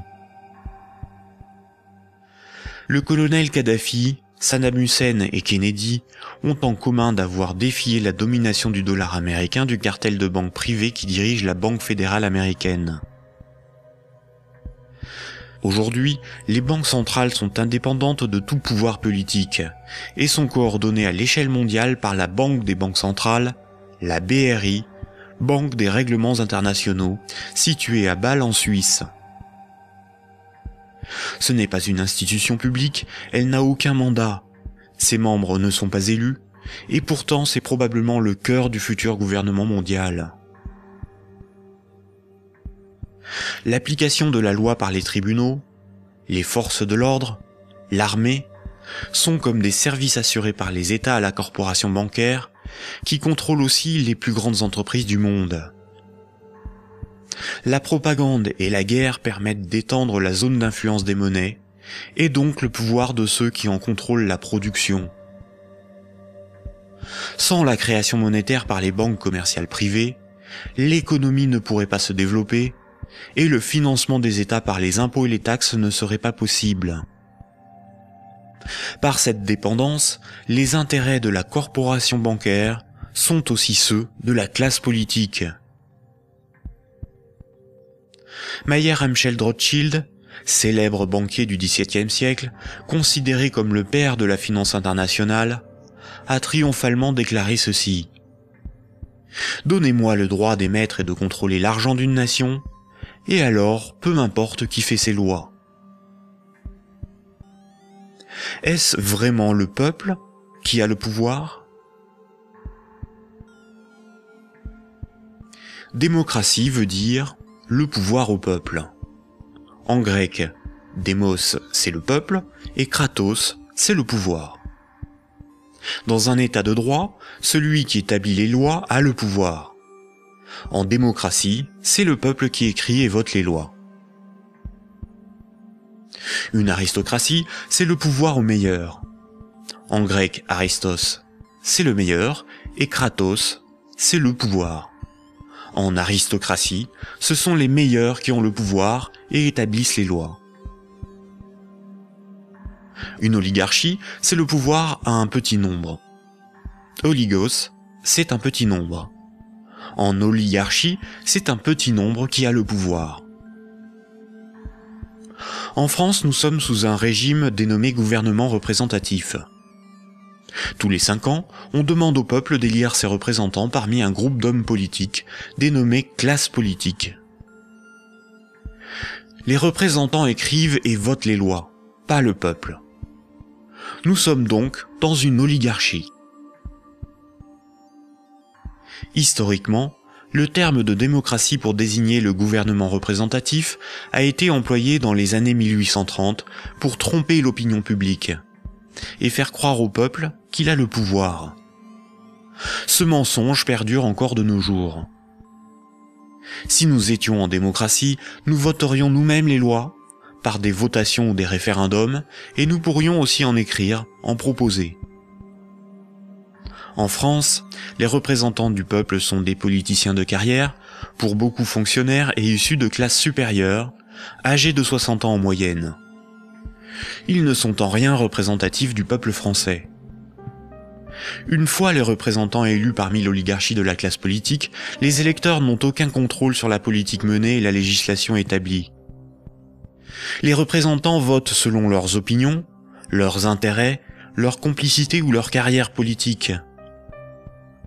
Ils sont la cible de groupes d'intérêts qui influencent leur vote. Les textes de loi sont dans 9 cas sur 10 rédigés par de hauts fonctionnaires non élus. Donner le pouvoir à un groupe d'hommes issus d'une oligarchie, ce n'est pas avoir le pouvoir, c'est désigner ses maîtres. Les partis politiques, apparus dans les années 1840, étaient un moyen de canaliser l'insatisfaction des électeurs dans des oppositions et des conflits sans conséquences. Car si les lois étaient votées par le peuple, ce qui définit la démocratie, il n'y aurait pas de manifestations, pas de grèves, pas de mécontentement ou de troubles sociaux. Le peuple serait souverain. Durant la Révolution, les riches avaient bien plus à perdre que les pauvres. Voltaire, figure emblématique des Lumières, disait ceci. Un pays bien organisé est celui où le petit nombre fait travailler le grand nombre, est nourri par lui, et le gouverne. Si le pouvoir était donné au peuple, il aurait défendu ses intérêts propres au détriment de la minorité des riches, des notables et des banquiers. Écoutons le philosophe Alain Badiou parler de la démocratie actuelle. Voyez-vous Alain Badiou, c'est ce que nous avons trouvé de moins mauvais pour choisir nos dirigeants. Oh, la, la, théorie du moins mauvais, ça, vous savez, la théorie du moins mauvais ne peut pas impressionner le philosophe que je suis. Hein. Elle a beaucoup servi pour justifier le pire le moins pire par rapport au plus pire, par exemple. C'est Churchill qui a inventé cette histoire, qui a consisté à dire que la démocratie, c'était le pire de tous les régimes, à l'exception de tous les autres. Il avait raison Eh ben non, il n'avait pas forcément raison. Pourquoi aurait-il eu raison parce que si il démocratie, peut meilleur, vivre... Oui, il se peut que le meilleur régime politique soit à venir, qu'il dépende d'une invention de l'humanité. Après tout, vous savez, pendant des millénaires, ce à quoi nous assistions, c'était à des théocraties, euh, à des régimes extraordinairement euh, tyranniques et oppressifs. Ils ont duré bien plus longtemps que votre démocratie, bien plus longtemps. Donc cette démocratie, c'est peut-être tout simplement une sorte de petit intervalle dans l'histoire. Surtout que elle ne marche que là où le capitalisme est déchaîné. Hein. Ça, c'est un fait. Hein le régime parlementaire démocratique, je le constate, c'est un fait, il n'existe comme régime installé, consensuel, conséquent, que là où l'économie capitaliste s'est développée. Et quand l'économie capitaliste commence à flancher, ce type de représentation politique euh, se sent aussi un peu malade. C'est là c'est là où on en vient au, cœur de votre pensée. Euh, un tout petit moment d'explication. Vous êtes, Alain Badiou, un de ceux qui avait relevé, revendiqué le mot communisme, alors même que les régimes communistes ou étiquetés communistes étaient effondrés. Vous aspirez à un régime politique qui serait placé sous le signe de l'égalité. Tout votre livre, hein, toute la République de Platon, tourne autour de cette idée. La cité idéale, c'est la cité de l'égalité, la cité de l'idée juste, donc du communisme. Et quand vous nous dites pour moi, le capitalisme, c'est l'équivalent de la démocratie. Là est la racine de votre rejet de la démocratie. Je ne vous trahis pas. De cette démocratie-là, parce que je, je n'accepterai pas de dire que je rejette la démocratie. Vous avez parlé tout à l'heure d'une illusion démocratique, mais la démocratie que nous connaissons aujourd'hui, c'est, c'est elle qui est l'illusion démocratique. Parce que personne, dans le débat politique français ou étranger, dans les pays démocratiques, ne veut abolir le capitalisme. C'est ça le sujet. C'est- pas exactement ça. C'est un petit peu plus précis. C'est parce que euh, les, les différents gestionnaires possibles de notre société hein, sont des gens qui, de toute façon, admettent pour l'essentiel l'ordre établi. Ça, il faut, le, il faut en convenir. D'ailleurs, s'ils n'admettaient pas les uns et les autres l'ordre établi, ils n'accepteraient pas de se succéder comme ils le font. Il faut bien que tel candidat ne soit pas extraordinairement différent de tel autre pour qu'il puisse alterner euh, le mouvement des affaires restant à peu près le même, après tout. hein. Donc il y a un consensus fondamental qui fonde ce que vous appelez, vous, la démocratie, qui est une démocratie euh, tout à fait normée, tout à fait particulière, et qui repose sur des acceptations fondamentales premières. Voilà. Et donc je soutiens que nous ne vivons pas du tout dans la démocratie. Nous vivons en réalité en oligarchie. Voilà. Nous sommes dominés par une oligarchie financière, politique et médiatique. Tout le monde le sait d'ailleurs. Tout le monde voit parfaitement qu'il faut absolument maintenir ce système pour maintenir le système politique lui-même. Qui gouverne dans la cité juste, dans la cité idéale? Eh bien, qui gouverne normalement dans la cité juste, dans la cité idéale C'est précisément tout le monde. C'est la démocratie véritable. C'est-à-dire qu'il n'y a pas d'État séparé de l'ensemble des gens. Voilà, c'est ça la cité idéale. La cité idéale, c'est la grande idée communiste de Marx lui-même, qui est un peu oubliée, mais que je voudrais rappeler. C'est le dépérissement de l'État. C'est l'idée que l'existence d'une machine d'État oppressive, séparée, qui doit être perpétuellement validée par des élections, etc., c'est une affaire euh, vieillie, c'est une affaire qu'il faut dépasser absolument, euh, au nom de ce que Marx lui-même appelait un régime d'association. La capacité pour tout le monde de s'occuper de ses propres affaires. Ce qui est intéressant, et, c'est là où, quand vous parliez de, l'idée de Marx et de l'idée de l'association, vous êtes un fervent admirateur de ce qu'on appelait les révolutions arabes, fervent admirateur également de ce qu'on appelait le mouvement des indignés. Et ce qui est très intéressant, c'est que votre critique sur les révolutions arabes commence au moment où elles se transforment en processus démocratique électoral avec des élections. Oh ben, c'est pas ma critique à moi, c'est d'abord la critique de tous ceux qui ont participé au mouvement dans les pays arabes. Ils ont été Sauf que- légèrement surpris et déconcertés par le résultat des élections. Mais le principe même Comme des moi, élections... je l'ai été en mai 68. Eux aussi, ils disent élection piège à con maintenant, hein, maintenant qu'ils ont les partis islamistes dits modérés sur le dos. C'est comme si, après une révolution, une tempête révolutionnaire démocratique extraordinaire, on vous présentait un massif parti démocrate chrétien comme le vainqueur des élections. Ben, vous seriez un peu étonné tout de même. Hein. C'est bien la preuve qu'il y a deux sens du mot démocratie qui ne sont pas du tout homogènes. Sauf que la revendication. Alain Badiou, la revendication du peuple contre les dictateurs, c'était de pouvoir voter. Bon, ça, c'est, la revendication du peuple contre les dictateurs, c'était que les dictateurs s'en aillent. Mais ça, après- c'était leur revendication unanime. Sur la question du vote, il y a eu d'innombrables débats. Comment, quand, dans quelles conditions Ces débats ont souvent été tranchés par des autorités extérieures au mouvement populaire lui-même. En Égypte, par exemple, ils ont été largement tranchés par l'armée. Autant dire par Parce ce qui la- restait du régime d'avant. Parce que la révolution a été volée, a été volée par l'armée. Mais les Tunisiens, par exemple... les Tunisiens- Le gouvernement représentatif, en ne donnant aucun pouvoir aux pauvres, aux ouvriers et aux paysans, garantit la protection des intérêts des plus puissants et des plus riches. Aujourd'hui encore, le citoyen n'est qu'un électeur, un emprunteur et un consommateur. Il est informé par des médias inféodés aux grands groupes financiers et industriels dont ils sont pour la plupart la propriété. Le vote des lois par les citoyens, le référendum d'initiative populaire, ou la mise en place d'un parlement tiré au sort dans la population comme le sont les jurys populaires, qui sont des évolutions démocratiques élémentaires, sont systématiquement dénigrés dans les médias. L'Union européenne est une organisation soutenue à l'origine par les élites américaines pour éviter l'apparition d'une puissance concurrente en Europe de l'Ouest. Elle est néolibérale et structurellement antidémocratique.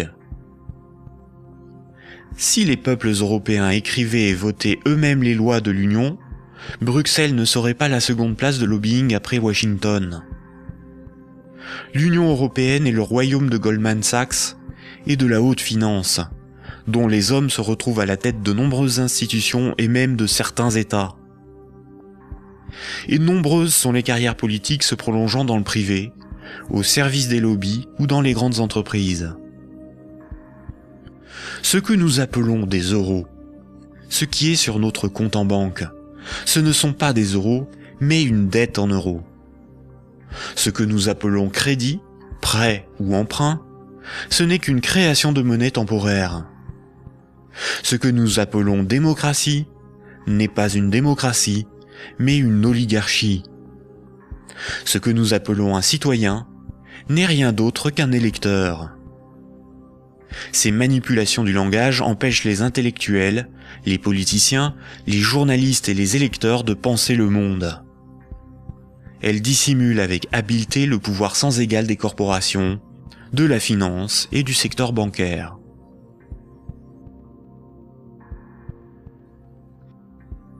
Aujourd'hui, la planète n'est plus capable de se régénérer. L'humanité tout entière est en train de se confronter aux limites de la Terre elle-même et manque de ressources naturelles. Toute croissance économique nécessite beaucoup de matières premières et d'énergie. Or, les ressources de la planète sont limitées. Certaines organisations militent pour qu'une nouvelle approche économique et sociale émerge, pour que nous soyons respectueux de notre environnement et sortons d'une logique de compétition, de surconsommation et de conflit. Certains font la promotion de la décroissance. La décroissance permettrait l'équilibre de l'activité humaine et les ressources de la planète. Mais la décroissance sous-entend une réduction permanente de la demande de crédit, donc une contraction de la masse monétaire qui déboucherait rapidement sur une crise économique majeure.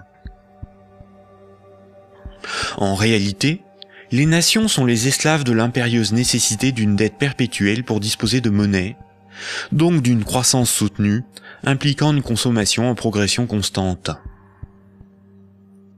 S'il n'y a plus d'anticipation de revenus futurs, il n'y a plus de crédit, donc la monnaie disparaît, l'État ne peut plus fonctionner et l'économie s'arrête.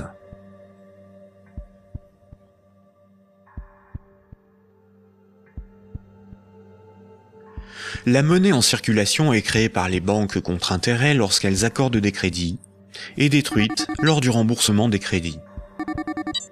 Ce cycle monétaire garantit aux banques une rente perpétuelle. Les créanciers sont les banques et le secteur financier, et les débiteurs sont le reste du monde. Notre système économique n'est en rien libéral, puisque nous sommes dépendants des banques pour réaliser le moindre échange économique. Nous ne sommes pas libres de ne pas être endettés. La rareté de la monnaie organise la concurrence entre les individus, entre les entreprises, entre les nations.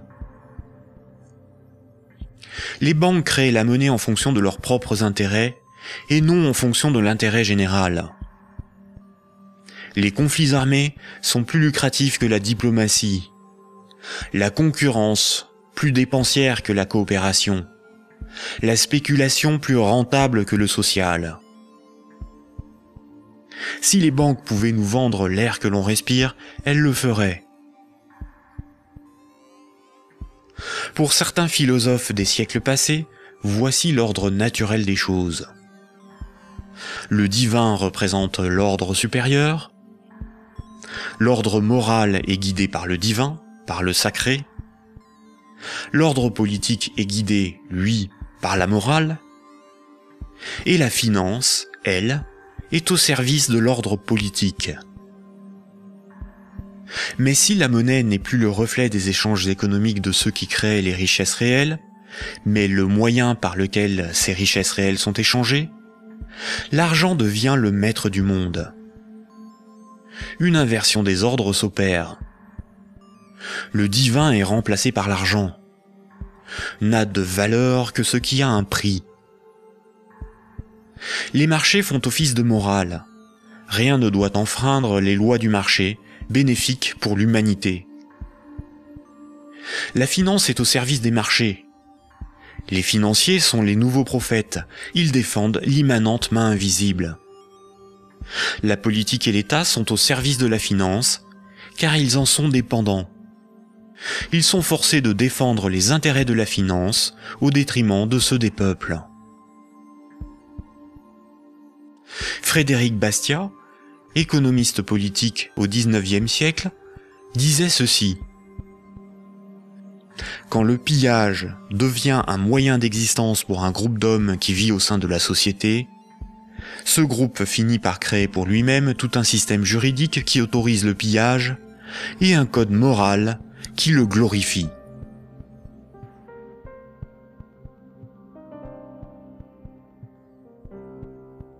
Récapitulons. Voici les points importants qu'il faut retenir. Avant l'invention de la monnaie, les systèmes de comptabilité des dettes permettaient aux hommes d'échanger librement des biens et des services. Il était simplement noté ce qui était donné ou les services rendus, à qui et quand, de sorte à s'assurer que chacun donnait autant qu'il recevait. Les hommes se faisaient confiance, c'est ce qui leur permettait de se faire crédit. C'est environ 700 ans avant Jésus-Christ que la monnaie a été créée comme un outil de domination au service de souverains ou d'États. Le souverain payait ses soldats avec une monnaie qu'il fabriquait lui-même. Les soldats forçaient les paysans à accepter cette monnaie comme paiement. Le souverain s'assurait que personne d'autre ne produisait cette monnaie. Les faux monnayeurs étaient sévèrement punis. Le souverain levait ensuite un impôt dans sa propre monnaie. Les paysans étaient donc obligés de se procurer de la monnaie du souverain pour payer leurs impôts et éviter de finir esclaves, emprisonnés ou pendus. La monnaie permettait donc au souverain de payer son armée, de maintenir l'ordre par la violence et d'extorquer des biens et services à ses sujets. Dès lors, le terme de dette a été progressivement dévoyé. On disait que ceux qui ne payaient pas leurs impôts avaient une dette envers le souverain. C'est faux. Pour qu'un sujet ait une dette envers le souverain, il aurait fallu que le souverain lui ait d'abord donné quelque chose de valeur. Or, le souverain exigeait avec violence et sans contrepartie de la monnaie qu'il était le seul à fabriquer. Le mythe de la monnaie remplaçant le troc masque le fait que celui qui a le pouvoir de créer la monnaie peut s'approprier le travail d'autrui sans contrepartie. De nos jours, les institutions qui créent la monnaie sont les banques commerciales privées dont le but est le profit. Elles créent la monnaie lorsqu'elles accordent des crédits et elles détruisent la monnaie lorsque les emprunteurs remboursent leurs crédits. En fonction de leur bilan, les banques créent aussi de la monnaie à partir de rien pour leurs propres dépenses. Quand, par exemple, on demande du pain à quelqu'un, il est bien normal de le lui rendre plus tard. On a une dette envers cette personne. C'est la morale qui nous dicte ce comportement, à juste titre. Mais quand une banque fait crédit, elle ne prête pas l'argent qu'elle possède. Elle le crée à partir de rien. Quand un emprunteur est endetté vis-à-vis d'une banque, la banque ne lui a rien donné. Elle exige pourtant qu'on lui rende quelque chose qu'elle ne possédait pas avant d'accorder le crédit, majoré d'un intérêt pour le service rendu. C'est parce que la loi protège ce privilège qu'elles peuvent contraindre les emprunteurs à rembourser leur crédit, quitte à saisir leurs biens et à les envoyer en prison. Il s'agit là d'un rapport de force. Les soi-disant dettes issues des crédits bancaires sont un moyen par lequel les banques extorquent une partie de notre travail contre une création de monnaie temporaire. En associant la notion de dette avec le crédit bancaire, cette pratique a été moralisée et donc normalisée. La monnaie centrale donne l'illusion que c'est l'État qui crée la monnaie. Or, la monnaie centrale est fabriquée à la demande des banques commerciales privées lorsque des actifs détenus par celles-ci sont monétisés par la banque centrale. En réalité, ce sont bien les banques commerciales privées qui fabriquent et louent la monnaie que nous utilisons tous au quotidien. La monnaie en circulation est créée par le crédit bancaire, puis détruite lors du remboursement des crédits. De ce fait, si tout le monde remboursait ses dettes, il n'y aurait plus de monnaie en circulation, tous les comptes en banque seraient vides, et les billets et pièces de monnaie disparaîtraient. La création monétaire par le crédit et la destruction monétaire lors du remboursement des crédits déterminent une masse monétaire. La variation de la masse monétaire est similaire aux variations de la population d'un pays en fonction des naissances et des décès. Quand la masse monétaire diminue parce qu'il n'y a pas assez de crédits accordés par les banques commerciales privées, il y a moins d'argent en circulation dans l'économie, car la monnaie est détruite par le remboursement des crédits en cours. Chômage, pauvreté, précarité, faillite d'entreprises et endettement des États se développent rapidement. Dans un tel système, la croissance est vitale pour l'économie. Les entreprises, les particuliers et les États s'endettent auprès du système bancaire pour assurer une augmentation constante et exponentielle de la masse monétaire. S'ils n'empruntent plus, ou que les banques n'accordent plus de crédit, comme c'est le cas depuis la crise financière de 2008, la monnaie disparaît à cause de la destruction monétaire et une grave crise économique survient rapidement. Sans dette, il n'y a pas de monnaie. Sans monnaie, il n'y a pas d'économie, les nations ne peuvent pas s'échanger ce qu'elles produisent. Donc sans dette, il n'y a pas d'économie. Ce système oblige l'ensemble de la société, des États, des nations, à être perpétuellement endettés et donc à enrichir les banquiers et la finance simplement pour disposer de monnaie pour leurs échanges économiques.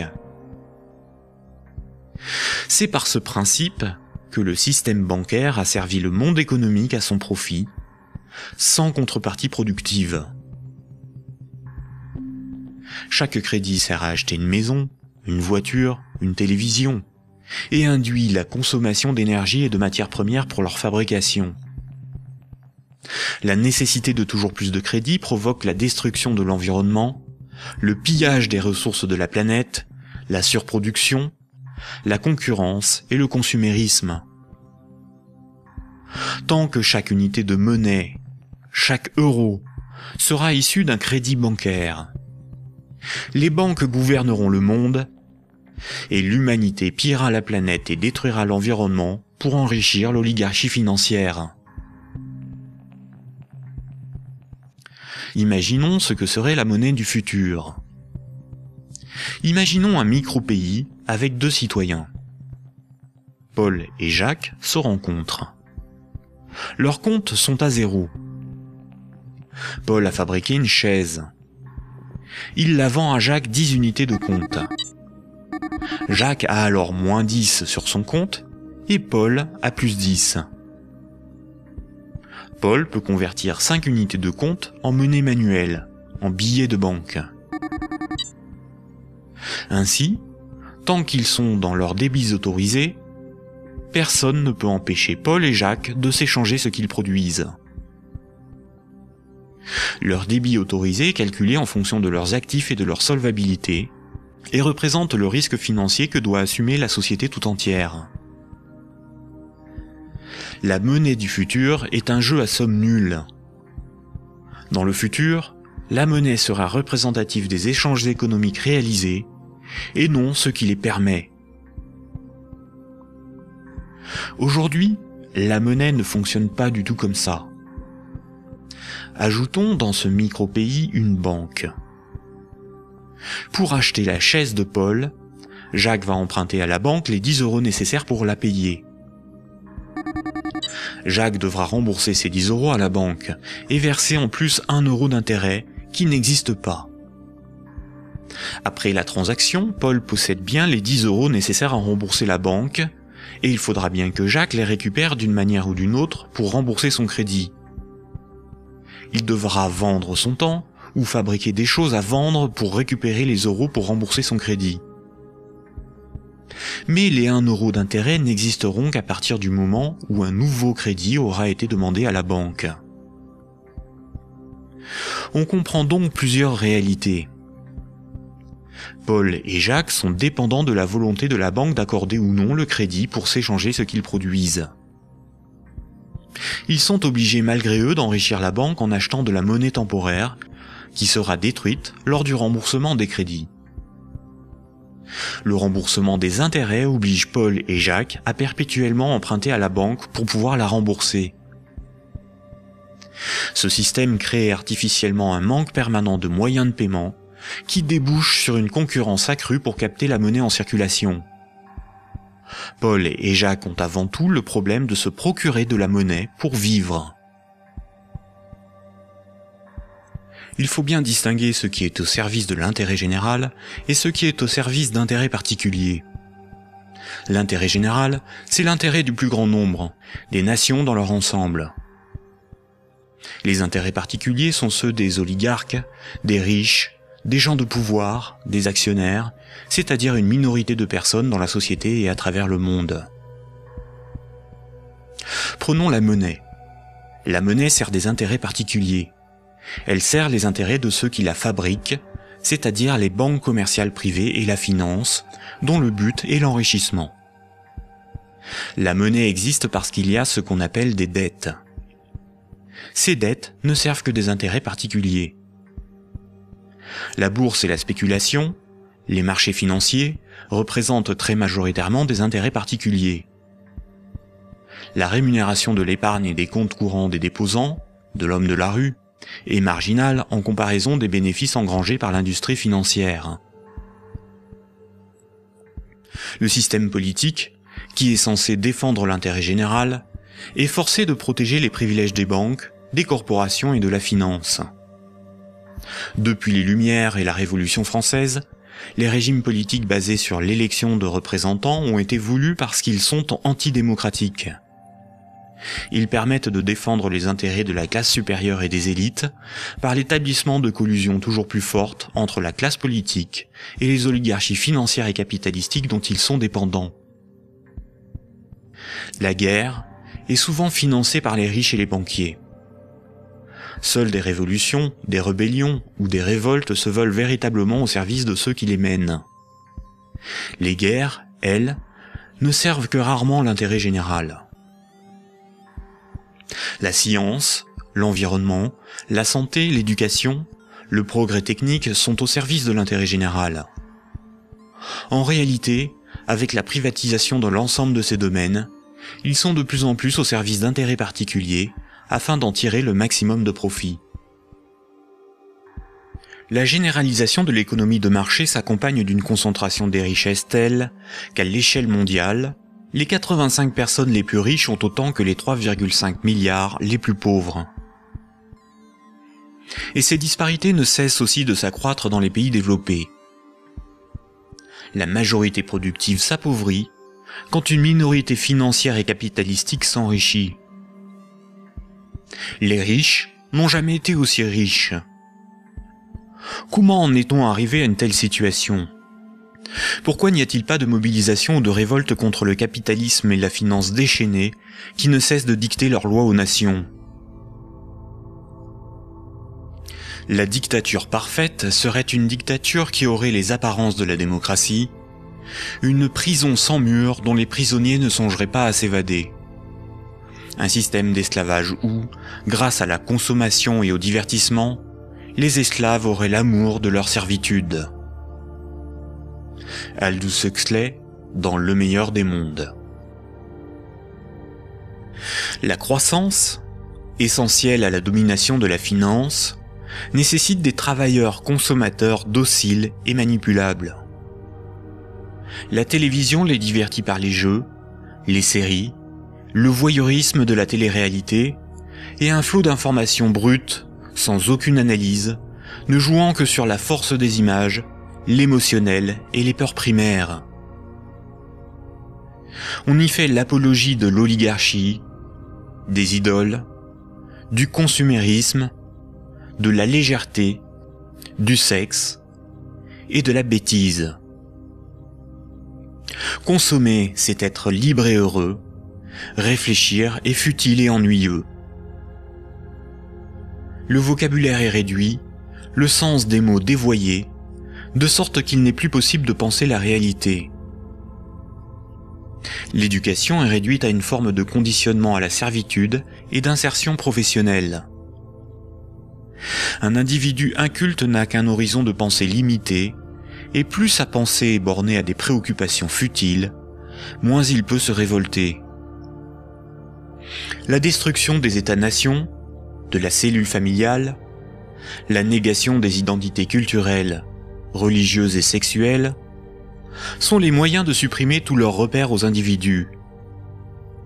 Ils n'ont alors ni l'environnement social et institutionnel, ni les ressources mentales pour s'opposer à la domination mondiale des multinationales et de l'oligarchie financière, politique et capitalistique. Il faut comprendre que la télévision, la radio et la presse sont des médias unidirectionnels, alors que l'Internet est multidirectionnel. Les médias unidirectionnels sont maîtrisés par un petit nombre de personnes soigneusement sélectionnées par les oligarchies politiques et financières pour délivrer des programmes servant leurs intérêts. L'opinion du citoyen est ainsi formatée, maîtrisée, contrôlée. À l'inverse, sur l'Internet, tous les intellectuels, philosophes et journalistes peuvent s'exprimer, partager leurs analyses, et le citoyen peut librement choisir ses sources d'information, partager ses opinions et en débattre. Pour maîtriser la liberté de l'Internet, l'oligarchie crée une fausse dissidence sous la forme de médias qui semblent subversifs, comme Mediapart, Rue 89, Le Canard Enchaîné, le magazine Marianne, ou encore des organisations comme Wikileaks, dont la fonction est de canaliser les citoyens les plus critiques sur des sujets sans importance, d'organiser leur indignation, de monter les uns contre les autres, et de décrédibiliser les analyses réellement subversives. Et quand le prêt-à-penser perd trop de terrain, la liberté d'opinion et d'expression n'existe plus. L'Internet tout entier est diabolisé au nom de la démocratie, de la République, ou encore de la lutte contre un terrorisme fictif ou fabriqué. Les grands médias qualifient de racistes, de terroristes, de fascistes, de xénophobes, d'antisémites, de négationnistes, de conspirationnistes, ceux qui analysent les faits, critiquent le système et tentent d'en exposer les fondements.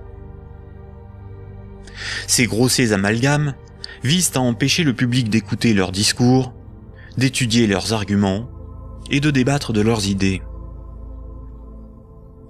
Tout comme ce sont les banques qui décident de ce qui doit être financé en fonction de leurs intérêts, dans les médias dominants, c'est l'oligarchie qui décide l'information qui doit être diffusée en fonction là aussi de ses propres intérêts. Le contrôle du vecteur soit de la richesse, c'est-à-dire la monnaie, soit de la connaissance et des idées, c'est-à-dire les médias, soit encore du système législatif, c'est-à-dire le gouvernement représentatif non démocratique, sont les instruments de la domination des oligarchies. Dès lors, il ne faut pas tomber dans la provocation, l'extrémisme ou la violence. La violence et la provocation sont ce que le système attend pour justifier la censure, le contrôle d'Internet et la mise en place d'un État policier. Il ne faut pas non plus dépenser son énergie sur des détails. Il faut au contraire remettre en cause les fondamentaux sur lesquels repose ce système de domination. Tous les mouvements progressistes, sociaux ou alternatifs, quelle que soit leur forme, associations, partis politiques, ONG, et quelle que soit leur cause, devraient faire la promotion de trois changements décisifs pour le monde de demain. Premier point. Remettre la création monétaire au service de l'intérêt général. Tant que ce sont les banques qui décident ce qui mérite d'être ou de ne pas être financé en fonction de leurs propres intérêts, le pouvoir politique et le libéralisme ne sont qu'illusions. Les banques ne sont pas là pour faire du social ou de l'investissement. Elles sont là pour faire des profits en prenant le moins de risques possible.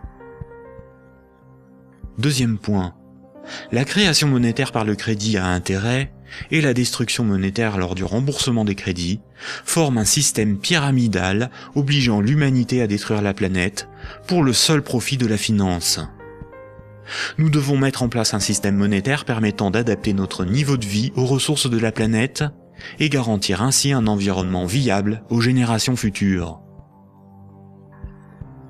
Troisième point, instaurer un système politique réellement démocratique. Seule une véritable démocratie permettra de garantir que les deux premiers points sont durablement défendus. Contrairement à ce que les élites veulent nous faire croire, des peuples éclairés sont tout à fait à même d'établir une politique qui défend leurs propres intérêts et les intérêts des générations futures. Ces trois points sont intimement liés. Sans une monnaie réellement publique, le lobby bancaire aura toujours la capacité de faire plier les gouvernements et changer les institutions.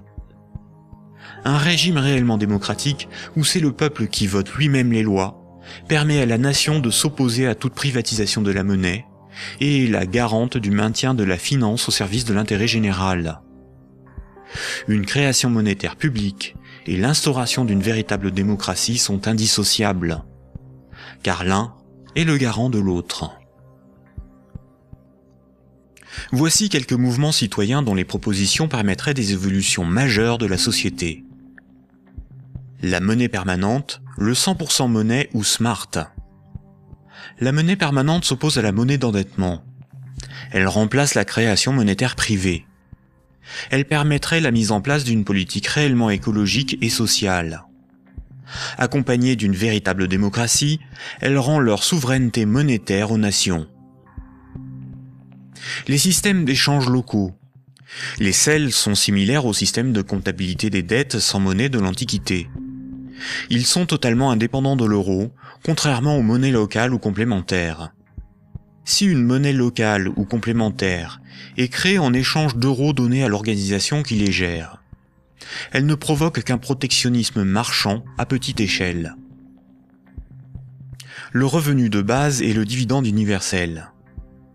Tout en bouleversant les rapports sociaux, il impose de repenser la notion de travail, de justice et induit une refonte du système monétaire pour être appliqué à grande échelle. Le tirage au sort. Un parlement non élu, mais tiré au sort dans la population est un système par nature démocratique, incorruptible et parfaitement représentatif. Il s'inspire de la démocratie athénienne et des jurys populaires, évite les dérivés électoralistes et institue l'impuissance des lobbies. La démocratie directe. Il s'agit de faire voter les lois par référendum. La Suisse, par exemple, par ses votations et son référendum d'initiative populaire contraignant, est très proche d'une démocratie directe. À nous de sensibiliser nos proches, nos concitoyens, nos décideurs, nos élites sur les fondements du monde d'aujourd'hui et de faire la promotion de ces alternatives économiques, financières et politiques essentielles au monde de demain.